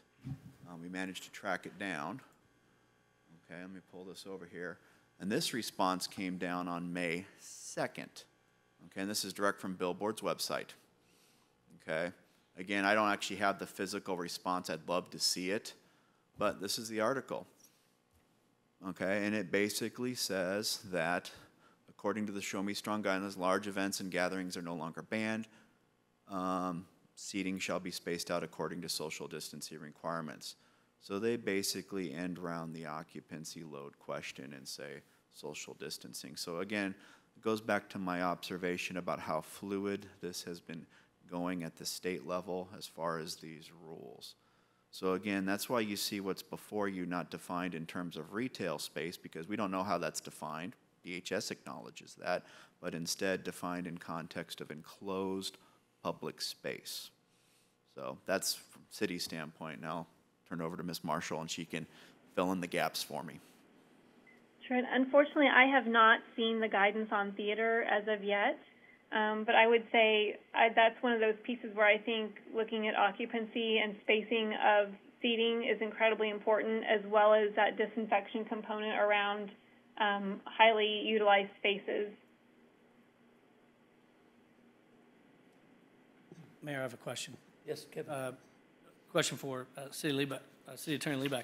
The question is, um, if, and we've talked about different options and things like that, but my question is if we, um, if we sort of model, as, as maybe I suggested early on, but if we, if we model with the res, if we um, kill the ordinance and model a resolution based on the state, as the state changes, because it's not unheard of, right, to have, it's, it's a living document, it's gonna continue to evolve and change, I'm sure it has been. Would we then, if we have a, if, if we have a resolution tied to DHSS, would it then just, our resolution would change with DHSS because it would be tied to it? Is that fair to say? Depends on how it's worded. What I will tell you is we are potentially putting landmines into this. The better course of action, if you want to kill this altogether, would be just to let the state take over instead of trying to resolve what they're trying to interpret and do, okay? If that's the path you want to go. That's my legal advice to you because we're going to end ourselves up in a problem when we're giving recommendations that may be slightly different than what the state's mandating. Again, the order's clear. Who's responsible for this? Who's the enforcement wing? Local health department. So if we want to go down that path, let them drive. But again, if we want to go down a different path, do we want to put more restrictive guidelines in place specific to our local community? Okay, I appreciate the answer because I, I, I think the up to five hundred dollar fine and, and ninety days in jail is kind of a landmine to me. So I, I agree that, uh, I would love to see that, but, uh, And, ju- and just so we're clear again, that state order, that's an a misdemeanor if you violate it, period. Okay, that's a, up to a year in jail, up to a two thousand dollar fine, and you know where enforcement for that goes? That goes over to the county. It comes outside of the city of Branson. So you're saying a resolution mirroring the DHSS would include jail No. time and fines? No. Okay, The well, resolution, the resolution has no effect on the actual DHS or S order that already includes a penalty of an A misdemeanor if you violate it by the state law that's currently in place. So if we have an ordinance and we take out, and we take out the uh, criminal component, meaning jail and fines and things like that, what does that look like? Resol, Lisa just pointed out, and she said it very succinctly, and I'm going to try to say it again. A resolution has no authority. So regardless of what this resolution looks like or does, if somebody goes out and violates that DHSS order, guess what? Sergeant Kaufman standing behind you, if he observes it, he could probably write a probable cause statement if he finds PC that a crime's been committed under that order, and he can ship that whole mess over to the county prosecutor as an A misdemeanor. That's regardless of what we do today, if we go down that path. That's the point. So I know people are concerned about 90 days in jail, $500 fine, or general penalty provision. It doesn't matter, is what I'm trying to say, because though this is already, has the potential to be a state crime if somebody violates that DHSS order. Okay, but real world, city of Branson, let me rephrase it. One alderman in the city of Branson has no interest of criminalizing this. So technically, what you're saying is, if the city says, we don't want to criminalize it, what you're saying is Taney County Sheriff can come to Branson and enforce it. No, what I'm saying is Branson Police Department, because the state has mandated this is a crime if you violate it, and they get a, let's say, let's say I'm sitting here right now and I see that, oh gosh, I'm, I'm concerned because, let's go to the order. Let's just, let's just give you a hypothetical and maybe this will help explain it better. Okay? If I look at this order, okay, and I see down here that, let's pick on restaurants for a minute. I'm sorry, Branson Cafe. But let's pick on restaurants, okay? Restaurants may offer dine-in services, provided that the limitations on social distancing and other precautionary public health measures including proper spacing of at least six feet between tables, lack of communal seating, and having no more than 10 people at a single table are properly adhered to. Let's say somebody calls Branson PD and says, hey, Branson Cafe's got 40 people sitting in their cafe, all at one table. Sergeant Kaufman takes the call. He goes out there. He does an investigation. In his police training, he realizes, hey, there is a violation of this order. He has the ability to send a criminal charge over to the county for review for filing, regardless of what this board does, because this order is currently in place as of 12:01 last night. Okay, so technically, I don't want to split hairs, he has the authority to do that. But knowing that the community does not want to do that, would Sergeant Kaufman still do that? I mean, I know he could, technically, legally. I- don't follow what you're trying to, what point you're trying to make, Alderman, and I apologize. Maybe I'm a little dense need a bathroom break right now, but can you please? Let's take a bathroom break. Oh, I'm sorry. Consensus? Take a five-minute break? It is now quarter till two, so we'll be back here at 10 till 2.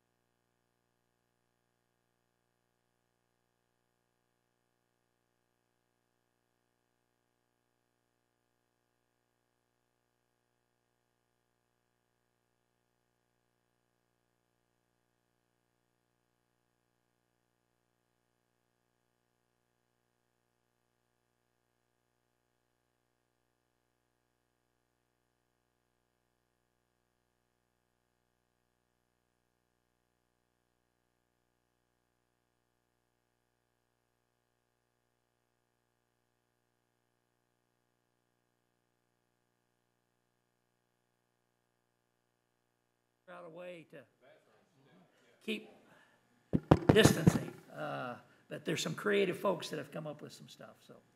We're ready to reassemble. We're waiting on one alderman. He should Mrs. be. Milton, have you seen your husband? Appreciate you all trying to keep the distance like you should. Appreciate those who trying to protect others if they know they've got a little bug or something by wearing a mask.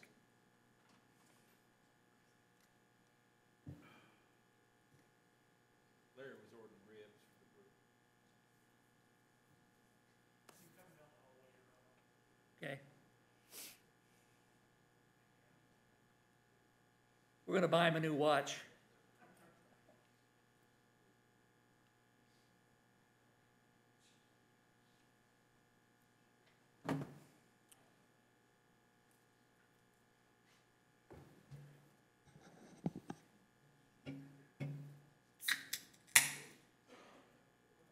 Lisa, do I need to call, have roll called again?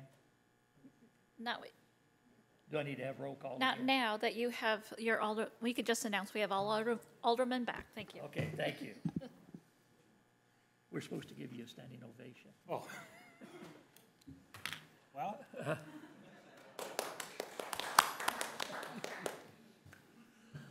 not much. Chris, we were uh, i- in discussion uh, in regard to the state, and we talked about, is there any other information that we've received in regard to any kind of allowances that the governor might make on assembly for other types of business, including theater? All I can say is this, is we are in uncharted territory right now. Texas is dealing with the same thing. Remember, the governor is the head of the executive branch. The director of DHSS is a political appointee of the governor confirmed by the Senate, okay? So the issue becomes this, we have an order that says specific things, okay? And then we have a governor's office that's putting out an FAQ and putting out, trying to help and put out guidance, okay? The problem becomes this from a legal standpoint, I'm gonna really kind of paraphrase this, is his guidance is not precedent. The only way to get a true interpretation of, let me pull it up here, of this order is if somebody were to violate it, that person were prosecuted, or somebody would litigate it and say, hey, I need a court to tell me what this means, okay? Now, they can use the governor's position, the governor's language, his FAQ, his Show Me Strong Recovery Plan as an aid to help convince a court that that's what this term or that term should mean. But from a legal standpoint, and again, I'm not giving legal advice to any business in this city, I can't. But from a legal standpoint, quite frankly, all that matters is what's in that order.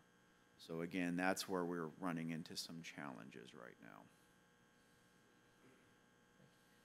So is there any, obviously, we talked about this is phase one, and mm-hmm. we're looking, is there any way that we can get an interpretation what else a business might do in lieu of the six-foot spacing? Short of another order coming down from DHSS or an amendment. That's, that's what we're dealing with right now. So again, we have this, everybody's got to follow this as of 12:01 last night, okay? And they have to make their best guess as to what this means. From a city standpoint, we have to decide today whether we want to add to this or we have three choices. Continue as is, essential, non-essential, have our recurrent restrictions remain in place. Option two, repeal the whole mess and just lean on this. Or option three, realize that, you know what, as Ms. Marshall said on the phone, there's a layered approach here, so there's some additional things we may consider from a health perspective to make sure that this continues on and try to come up with a framework where that doesn't place crazy restrictions on businesses, allows them to function, and again, doesn't compromise what DHSS has mandated. So that's, that's where you all are at and what you have to decide. And I, I can't tell you which direction to go, that's your decision. But the bottom line is, this is in play right now, this is in effect. We need to decide, do we want to supplant this in any way? So Chris, wouldn't a solution be, we follow the governor's guidelines as our own resolution, so if the state makes changes later, we still have our own. If he opens up more than we feel comfortable, we still have our own resolution. You're shaking your head no, Lisa, we can't. No, no, No, I read it, I'm sorry. Oh, a resolution has no authority. I'm sorry, um, ordinance. There's no reason to do an ordinance. Again, if we do an ordinance, we're gonna have to, If we, excuse me a second, if we don't do an ordinance and we just tie it to what the governor said, if we, okay, we have, option A is this. Okay, and we're gonna go to what, uh, Mr. Seifried talked about, picking choice two. How would choice two look? Choice two would look as follows. One of you all, let me pull this up here so we can see it. We're gonna have to make a motion. If I can get the mouse to work. And I apologize if my audio keeps cutting in and out. Apparently, it's happening on the live stream, so I'm going to try to be real close to the mic here. Or is the mouse? Okay, here we go. So here's the ordinance. Okay? If we want to accomplish option two, which is let's let the state drive, put them in the driver's seat directly, we think, you know what? This layered approach that our health department's saying is a good idea, doesn't matter, we're just gonna let the state drive. Then what we would do is we would go ahead and motion in to repeal these three definitions. We would motion in to repeal Article three of Chapter fifty-eight. And then the purpose, the bill, the amendments to the bill would cause this all to disappear. So then what would happen, the end result is you guys just passed a bill, voted on a bill, then voted it into an ordinance that has the effect of removing Article three fifty-eight and removing all of these restrictions, and then state takes over and we go down that path. Okay, let me try asking this again. But it's, but again, it's not the, Stan's making a point. It's not the governor's order, it's DHSS that has made that order. Okay, let me try this again. If we went with option two and DHSS makes a change, mm-hmm. would we be bound by that change if we just? Yes. So that's my point. So my point is, why don't we just come up with a ordinance that says what the governor is saying today? So if next week he says, everybody's open hundred percent, we're not bound by that. We still have some limitations in place. Instead of just saying to, I guess I, I don't follow. I don't want, I don't feel restate- comfortable letting the state drive and say, we're just gonna follow whatever the governor says. Okay, then what should we have in our ordinance? What rules, again, not, Exactly word for word what's in the governor's orders today. so you want to basically copy and paste DHSS order into an ordinance? Take this and copy and paste it. Is that what you're saying, Alderman? This whole thing? Well, yes, because here's- with, the- here's with the- the caveat being, retail means retail. Retail means if you have a retail license. Retail doesn't mean attractions, theaters, skating rinks.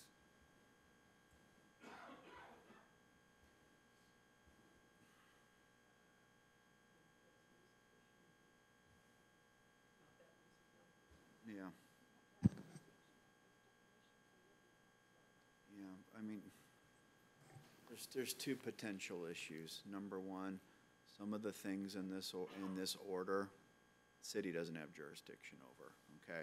I think there's some confusion as to what role we have with regards to education, okay? We have no involvement in the education system, okay, as a city. Okay, so item five, we can't copy and paste that in there because that's, that's a different organization, Okay, so we'll Okay. eliminate five. okay? The other issue is a lot of this stuff is the direct result of their jurisdiction, the health department, under one ninety-two oh two oh. Okay, so what we have the potential of doing, and this is, this is again, I'm giving you my legal opinion, okay? If we do a copy and paste job, whatever it is of this in some form or fashion, we have the potential to make this more confusing for the public. Okay, mm-hmm. that's the risk. I'm trying to keep it less confusing. The governor has said blank, And so what the governor says is what we are agreeing to today. So if there's ambiguities in what the governor said, The governor has not said anything. But Dr. Williams, with the Department of Health and Senior Services, has made this order. so the governor hasn't come out with any rules or guidance for the state? The gov, this is it. You see his name on the corner, okay? Okay. He is a cabinet member of his Okay. executive branch. So he is acting on behalf of the governor, and here is Okay. this. So we take out Article five, I mean, paragraph five, what is the other obstacles?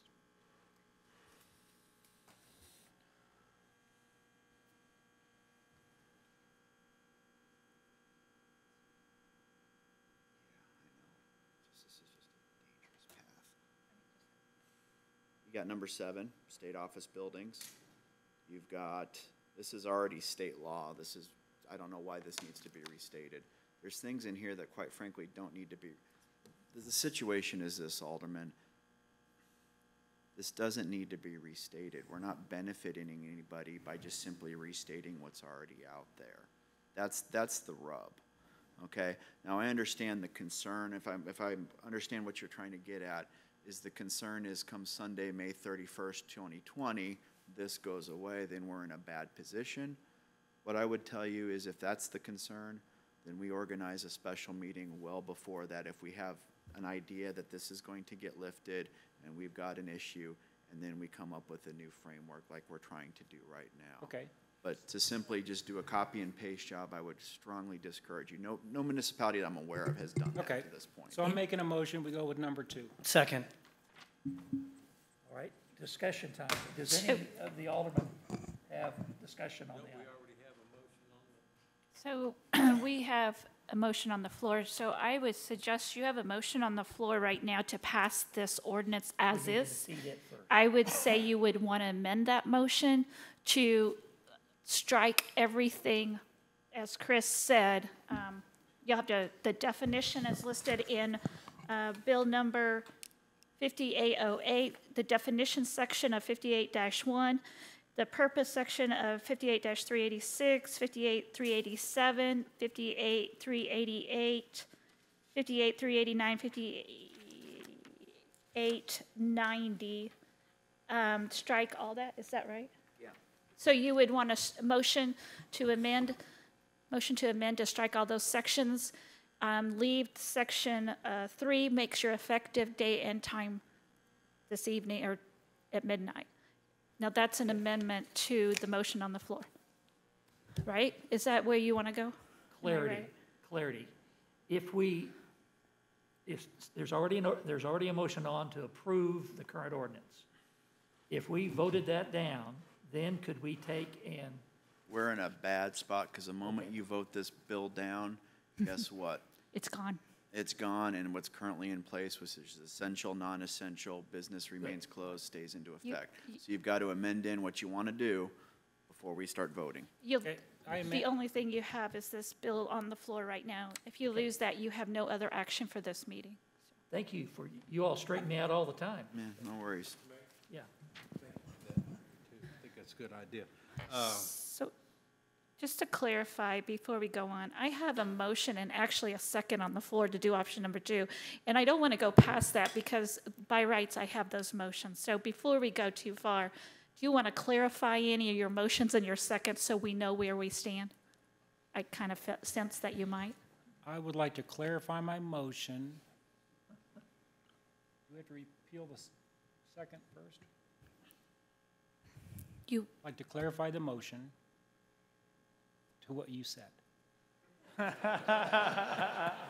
Bravo. Proper tact. And does the second agree with that? I do. All right. So you have a motion and a second with those. thank you. That would be the Clarifications, amendment to the current motion on the floor. Do you have- Alderman Skains. Real quick, clerk, would, uh, Lisa, would you like me to go ahead and redline what's in, up Yeah, there and save uh, a just- copy? yeah, Just strike it all. Just so we know exactly yeah. what we're doing? Thank you. Alderman Skains, do you want to go ahead and? talk, or- Please, I just wanted to add in, I thank Larry and, uh, and Kevin for that, that motion changing this thing. Uh, there's an old statement, it's called Occam's razor. Sometimes the simplest explanation seems to be the best, and the way that we're going appears to be that way. I don't think any of us sitting up here, uh, I can't speak for everybody, wanted to criminalize wearing masks or force anybody to wear a mask. I said that on social media. I said that over the phone, to probably several dozen individuals, and in between this, I, I, I can't imagine uh, Clay having somebody come into his theater and somebody's not wearing a mask and somebody's out there ready to write them a ticket and uh, send them down to the pokey. That's not the intent of this board by any means. Uh, but hey, that stuff gets out there. The issue I would like to have is the issue of the should maintain six foot or reasonable distancing because it's common sense. People bump into each other. It's going to happen. They're not going to always maintain six foot. I don't like the idea of calling theaters retail. I owned the Engler block for almost 30 years.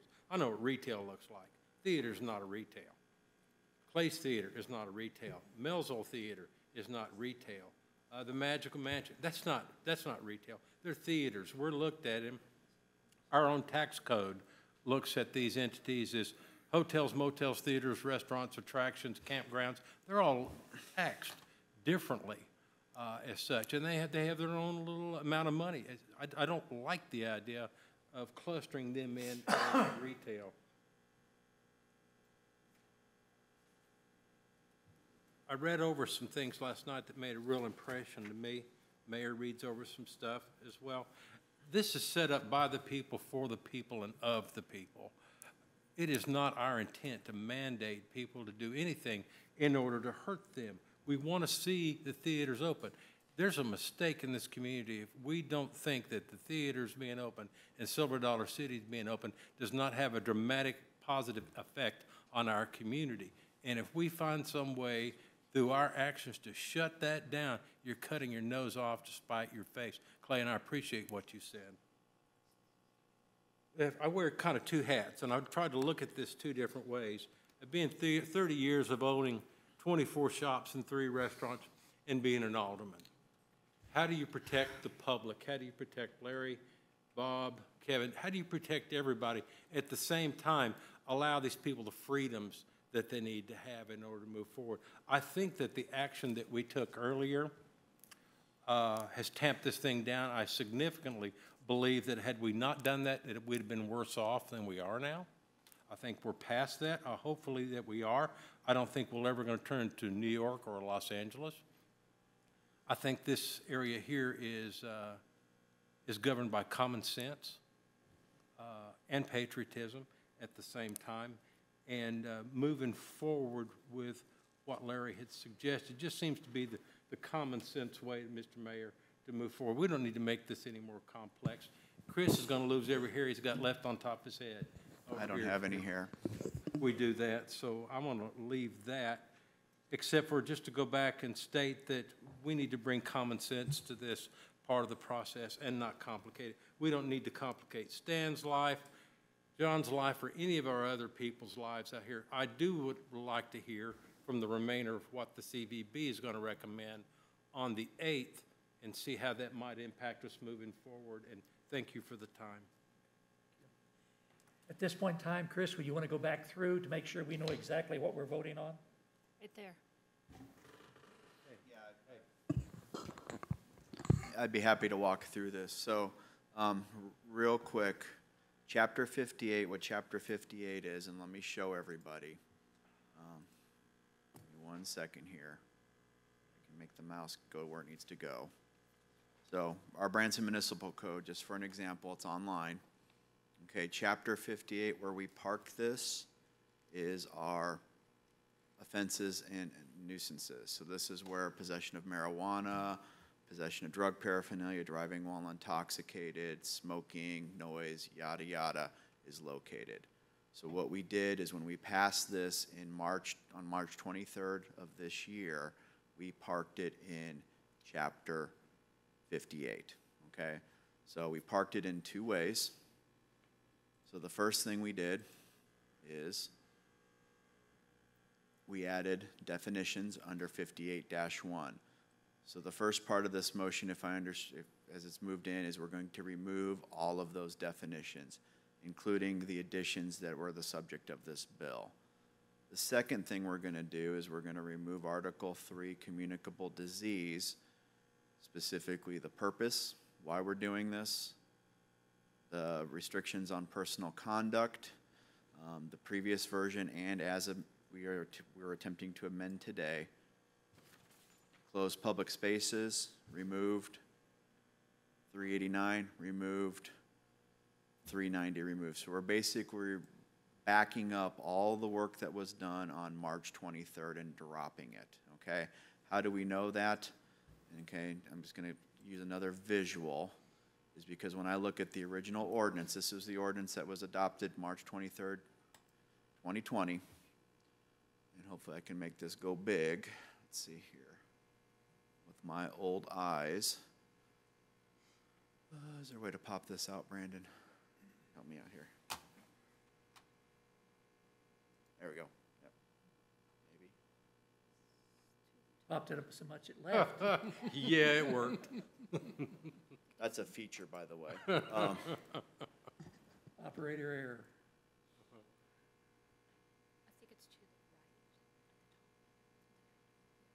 Oh, yeah, click here, I got it. There we go. So we're gonna go ahead and pop this out. Maybe. There we go. Let me just move that back over here. So this is the ordinance that was passed March twenty-third. Okay, you will notice those definitions are getting gutted.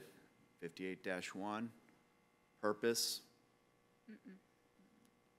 social gatherings, non-essential, three eighty-nine, which is eating and drinking, ninety. So all the content that was there on March twenty-third is getting dropped unless Lisa sees something that I missed. I guess go back up to definitions. That was already in there, so if I go. No, we don't. No. Okay, so again, what we're doing is we're basically gutting out our communicable disease ordinance that was passed March twenty-third with this motion by Alderman Milton and seconded by Alderman McConnell. So Chris, can we just put up what the final will look like? We won't, ha- We won't? you'll just go back to what the state has. So we, There's nothing on, there will be nothing on our books anymore. Mr. Mayor? Yes. Just, I just want to make sure and ask uh, the Alderman up here, by doing this, we're not going to restrict the theaters to that very narrow approach of ten percent. Um, that's, that's putting those people into bankruptcy. If we do that, that just doesn't make any sense. And the same issue of the issue of, of mask, I'd just like to have that. Don't want to criminalize anybody, even Larry, to wear the mask. What I will suggest. Sounds like election season. Yeah. What, what I will suggest on the You theater issue is that the theaters, call DHSS, call your health department, ask them for guidance, okay? We're out of that game if this goes through, okay? They're the ones that are gonna tell you how this is enforced. Mayor. Yes, Mr. Simmons. May I, Chris, may I ask, we've got other venues that are closed venues like, uh, like Bill's used to be, uh, where you've got several different retail establishments, theaters, entertainment, all indoors. Uh, A couple come to mind are the IMAX and Glenn Robinson's out there. They're probably in that over 10,000 square feet game. But now, under, under the governor's rules, how does that affect those places? Uh, You're gonna hate the answer, but it depends. Oh. Um, that's the horrible attorney answer that I hate attorneys giving, but it depends. Again, it, I don't know. I don't know how the state will interpret some of these mixed-use places. The best I can tell people to go after, again, not giving you legal advice, because I cannot, is look at the governor's FAC, send him emails, send the state questions, talk to your health department, and ask, because there is the very real possibility that that mixed-use facility may be subject to ten percent under that state rule, okay? But again, this is the best we've got today, okay? But we do know it's at least six feet, right? Yes. That doesn't go away, and I think that's the, at the end of the day, perfect. Thank you. Mr. Simmons? One more question. Uh, Is Lisa Marshall still with us?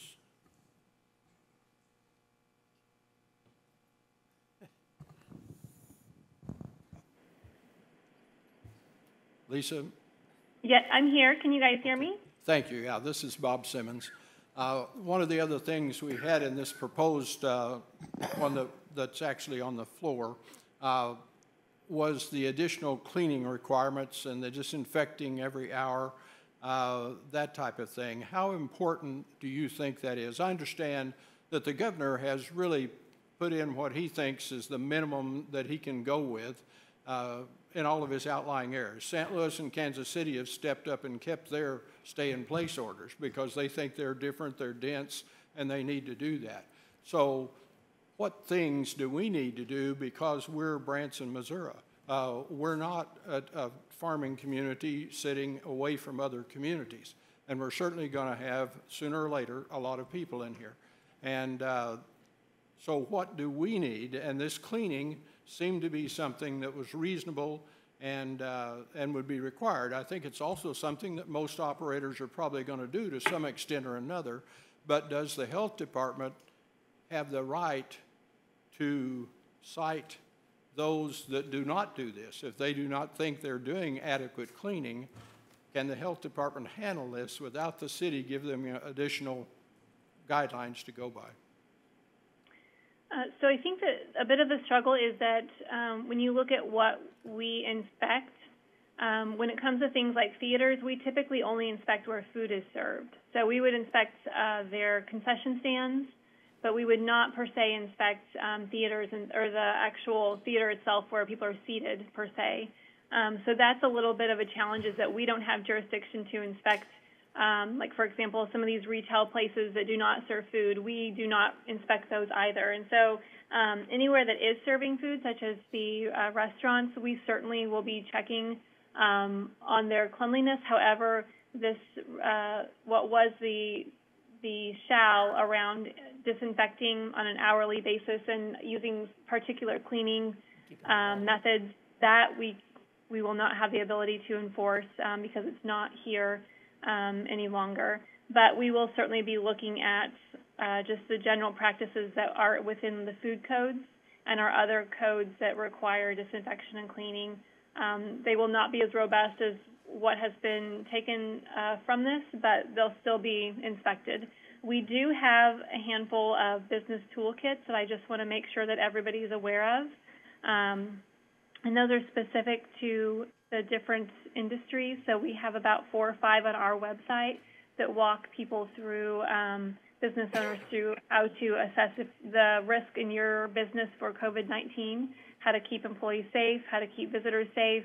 Uh, and those are fluid documents that we are constantly adding to. So we do have those specific to industries.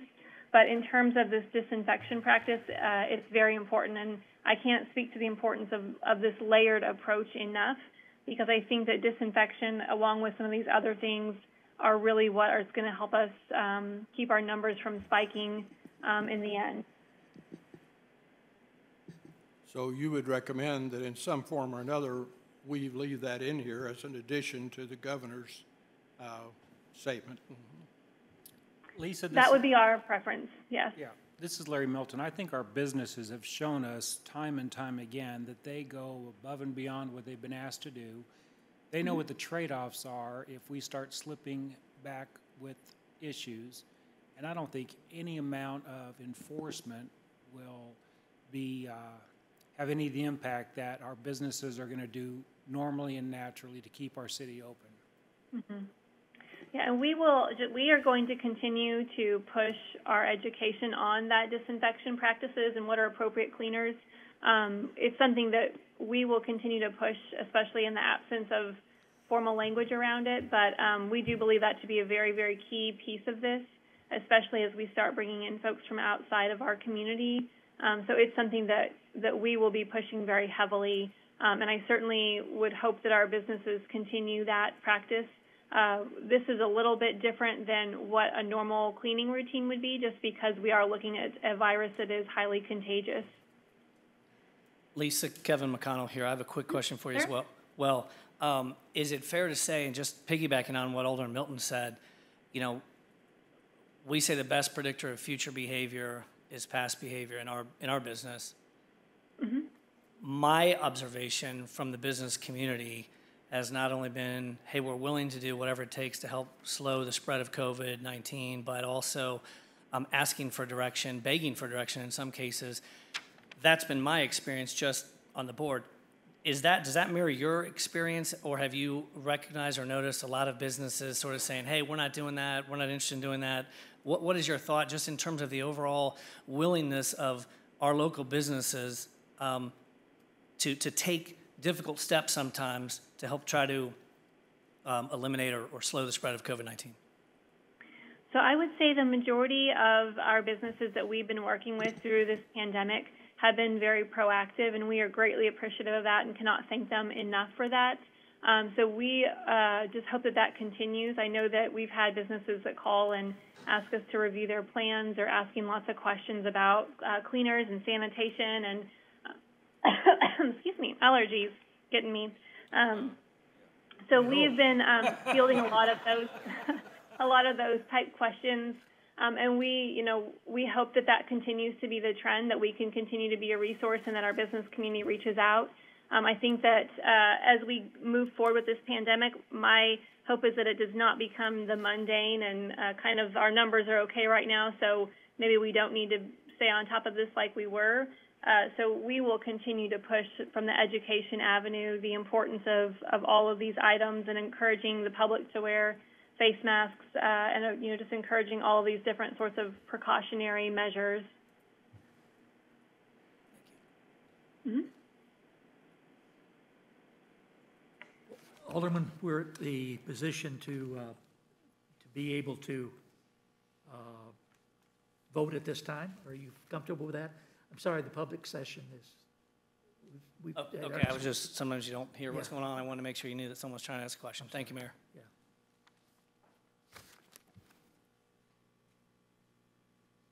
All right, please vote.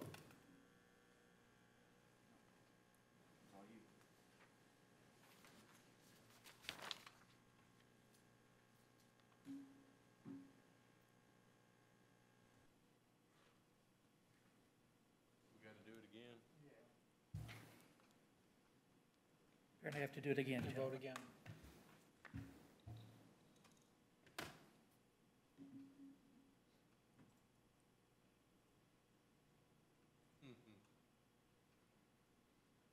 Six aldermen. Vote yes, passed. Okay. Six to zero. Madam Clerk, would you provide the introduction for this item? Your Honor, um, so at this point, we uh, have passed the amendment. So we have a motion on the floor for the original bill number for the first reading, so, which is basically everything stricken. So we need to vote on the original motion that's on the floor for bill number 5808, please. And that's what I was trying to get at earlier. Just a second. As amended, yes, as stricken. Okay. All right, so we're going to vote again and, and for the bill as amended, which would include what we've recommended. Yes. Okay. Do I have a, uh, a motion? We already have the motion on the floor. We have a motion and a second, and then we made an amendment to it, which struck everything. Now we're I'm back with to you. the original motion and second that we probably did at quite a while ago, so. Okay. All right, now, is this, is this in the second phase where we then can allow, uh, Now, this is uh, the first reading, uh, but you, I mean, um, of the bill as amended. Okay. Do we need to have public input at this time, or do is it in the No. second part? Okay. All right, yes, Al- Alderman Clonts. That we have clarification on what we're voting on, so.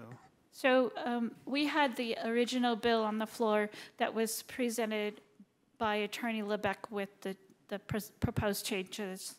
So that all has now been stricken by an amendment. So we're sitting with basically the amendment again to be passed as a fine, as a first approval of the bill. There's been a motion and a second already. so Yes. We're ready to vote if you feel comfortable. Alderman, please vote.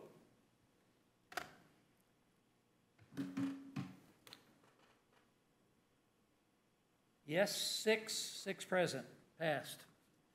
All right. Uh, So now what we would, we probably want to do is to have a final reading. So in order to have a final reading so it can get passed, we need a motion From to, to ask for a final reading. Okay. That would be on page two if you want to read that. um, Is an alderman wishing to make that motion? So move. I'll Um, just read it if you would, Bill. Okay. It says, um, I move to read Bill number 5808 for its final reading due to the recent state of Missouri guidelines surrounding COVID-19. You want to make that motion? So move. Thank you. Second that. There's a second.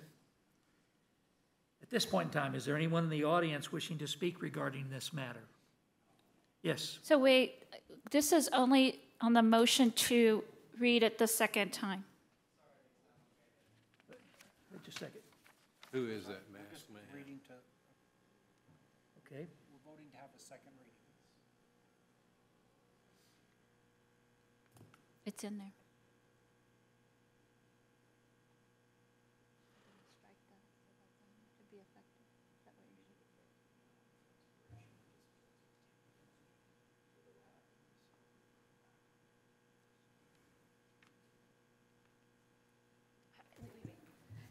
if I'm following the agenda, okay.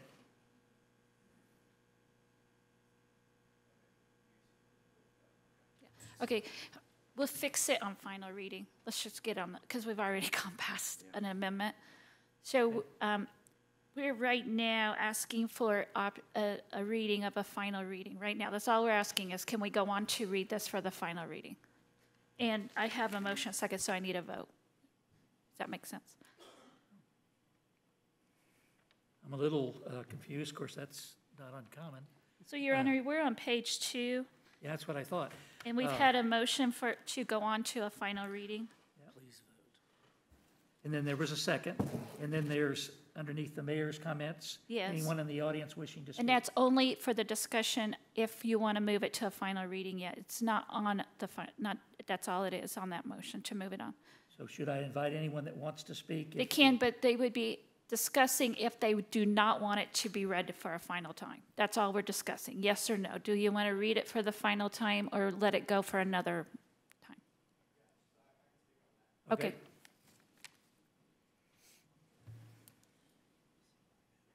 Yes, I do. Mhm. Good catch. Okay, Marshall Howden, 106 Rose O'Neill.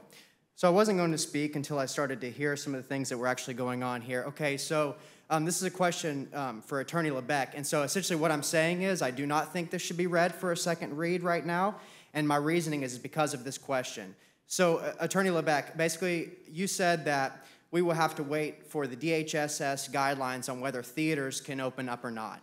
So basically, that's what you're saying, that right now, as of right now, it will be up to the state to keep our theaters closed, possibly indefinitely until June 15th. Is that what you're saying?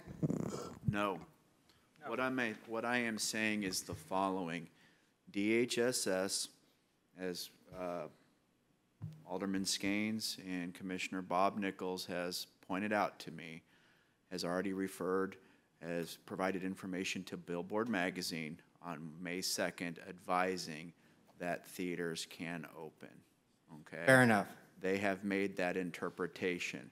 I cannot sit here and tell the Haygoods, I can't sit here and tell Clay Cooper that you can't open up. They are going to have to make that determination on their own, under their own legal guidance. But as far as the signaling that we are getting from the state of Missouri is that they can opening. But again, that's for them to decide, not for me as the city attorney for the city of Branson or for the Board of Aldermen to tell them they can open. This comes from a higher power. Fair enough. We had some confusion in the audience. I retract my statement. I'm for a second read. Thank you. Thank you. Well, now I have a question. With what we, with what we just approved, following the DHS, and the governor, aren't we approving that theaters can open? That they're not retail? All right, let me back up. Yeah. The decision this board can make today is whether to make rules that are more restrictive than what the state has passed. Right. You have chosen by this amendment not to do so. So we're letting the state drive that ship. So again, it's going to be up to them how these rules are interpreted. It's going to be up to the health department how these rules are enforced. Okay, but right now, we, for the information we have from the state, their interpretation is concerts and that are all allowed. That was their interpretation on May 2nd, 2020, but as I alluded to previously, on April 29th, it was a different interpretation. So again, it's going to be up to how the state decides that it's not up to us. But then you But- also But, but they have signaled to us that they can be open. Yeah. Okay? And then you also suggested that if they come back with something else, we'll, we could have another meeting to amend. You always have the ability, and Well, then we, we called a special meeting today because we had a quorum today. You always have the ability to ask two board members for a special meeting, and then if we get a quorum, rock and roll, we can put something together, okay? You Ready to vote? Please vote.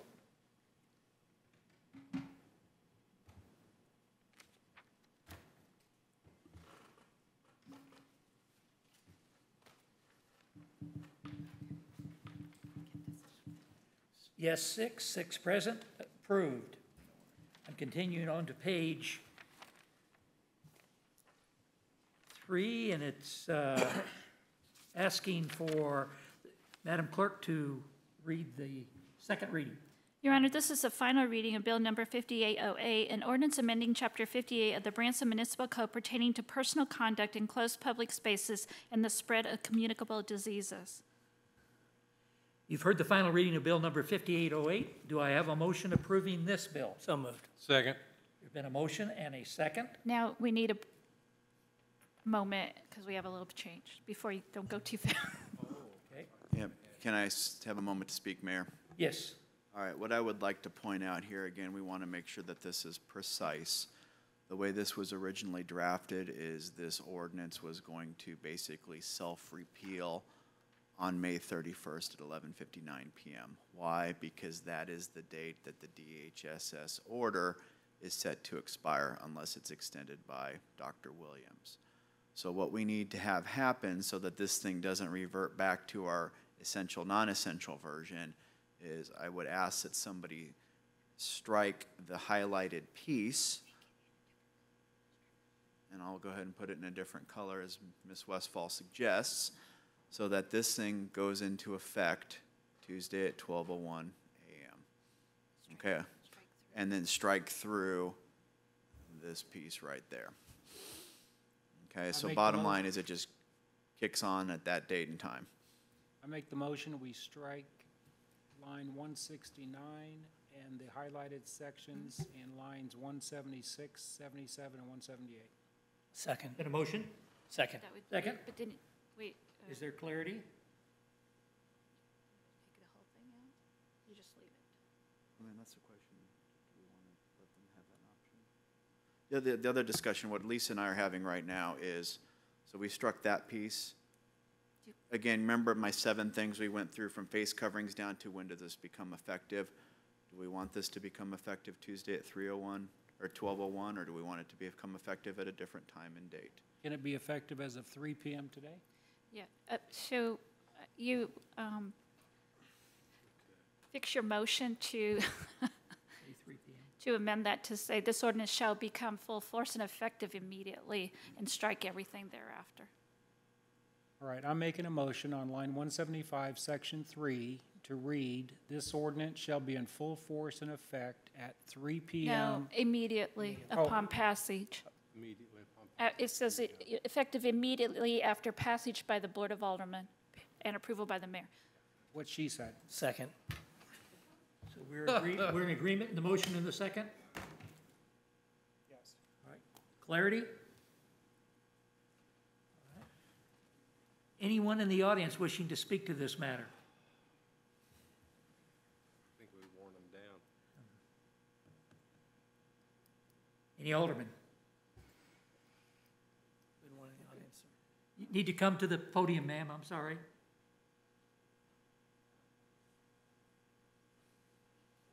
We have mandatory exercise here. You don't need a hard hat working with us.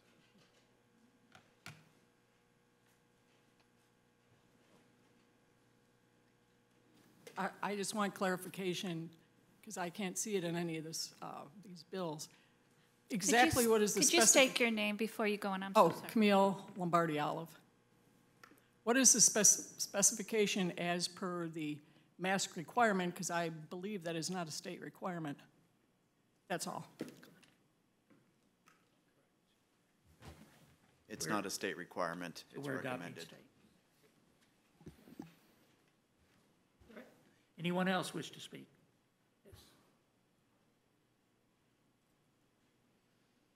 Uh, Kelly Slaybaugh. Um, I just am, I just have a question just because it occurred to me. Is it wise to leave it open-ended? Simply because a lot of businesses around here, for a lot of these state restrictions, uh, is it, it, I didn't see, is there language up there that says this ends when the state ordinance ends? Or should you guys set a date that it's gonna end at this point, or I, I just didn't see an end date, and I didn't see anything that indicated that it would end when the state ordinance ends. Mr. Mayor, can I answer that? Yes. Um, that's a good question, ma'am, and this is a little confusing. So let me try to simplify this. Let me pull this up here. What this bill is doing is it's removing the restrictions we've currently imposed on the citizens of Branson. So essential, non-essential businesses, the occupant load, the social distancing, the gatherings of 10 or more people. Okay, this is removing all of that. We don't want to put an end date on that because if we do, then what happens is this is going, that, those things we're stripping will go back into effect on that end date. So we're going to set ourselves up for potential failure then.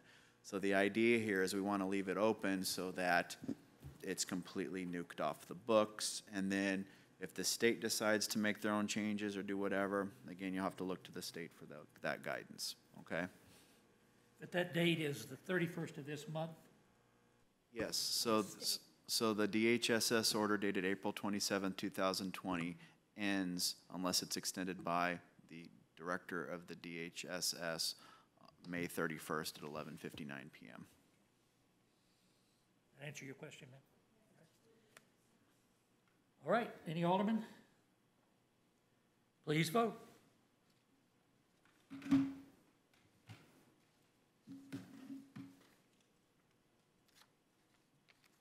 Yes, six, six present, passed. Do I have a motion to adjourn the Board No, of wait, Aldermen? wait, wait, wait. We already did, now we have an amended final reading. We need to vote on the final reading. We already have a motion and a second on the floor. And that was just with that time change as amended. So we have a motion to read it, uh, to approve the final reading as amended. Okay, thank you. And we're ready for a vote unless there's more discussion. Is it Clarity? Please vote.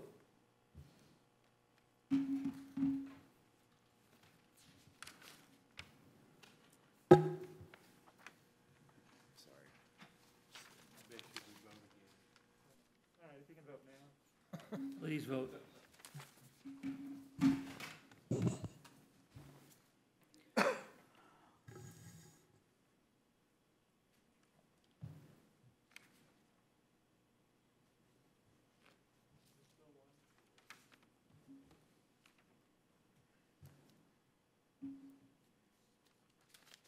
We need to vote again?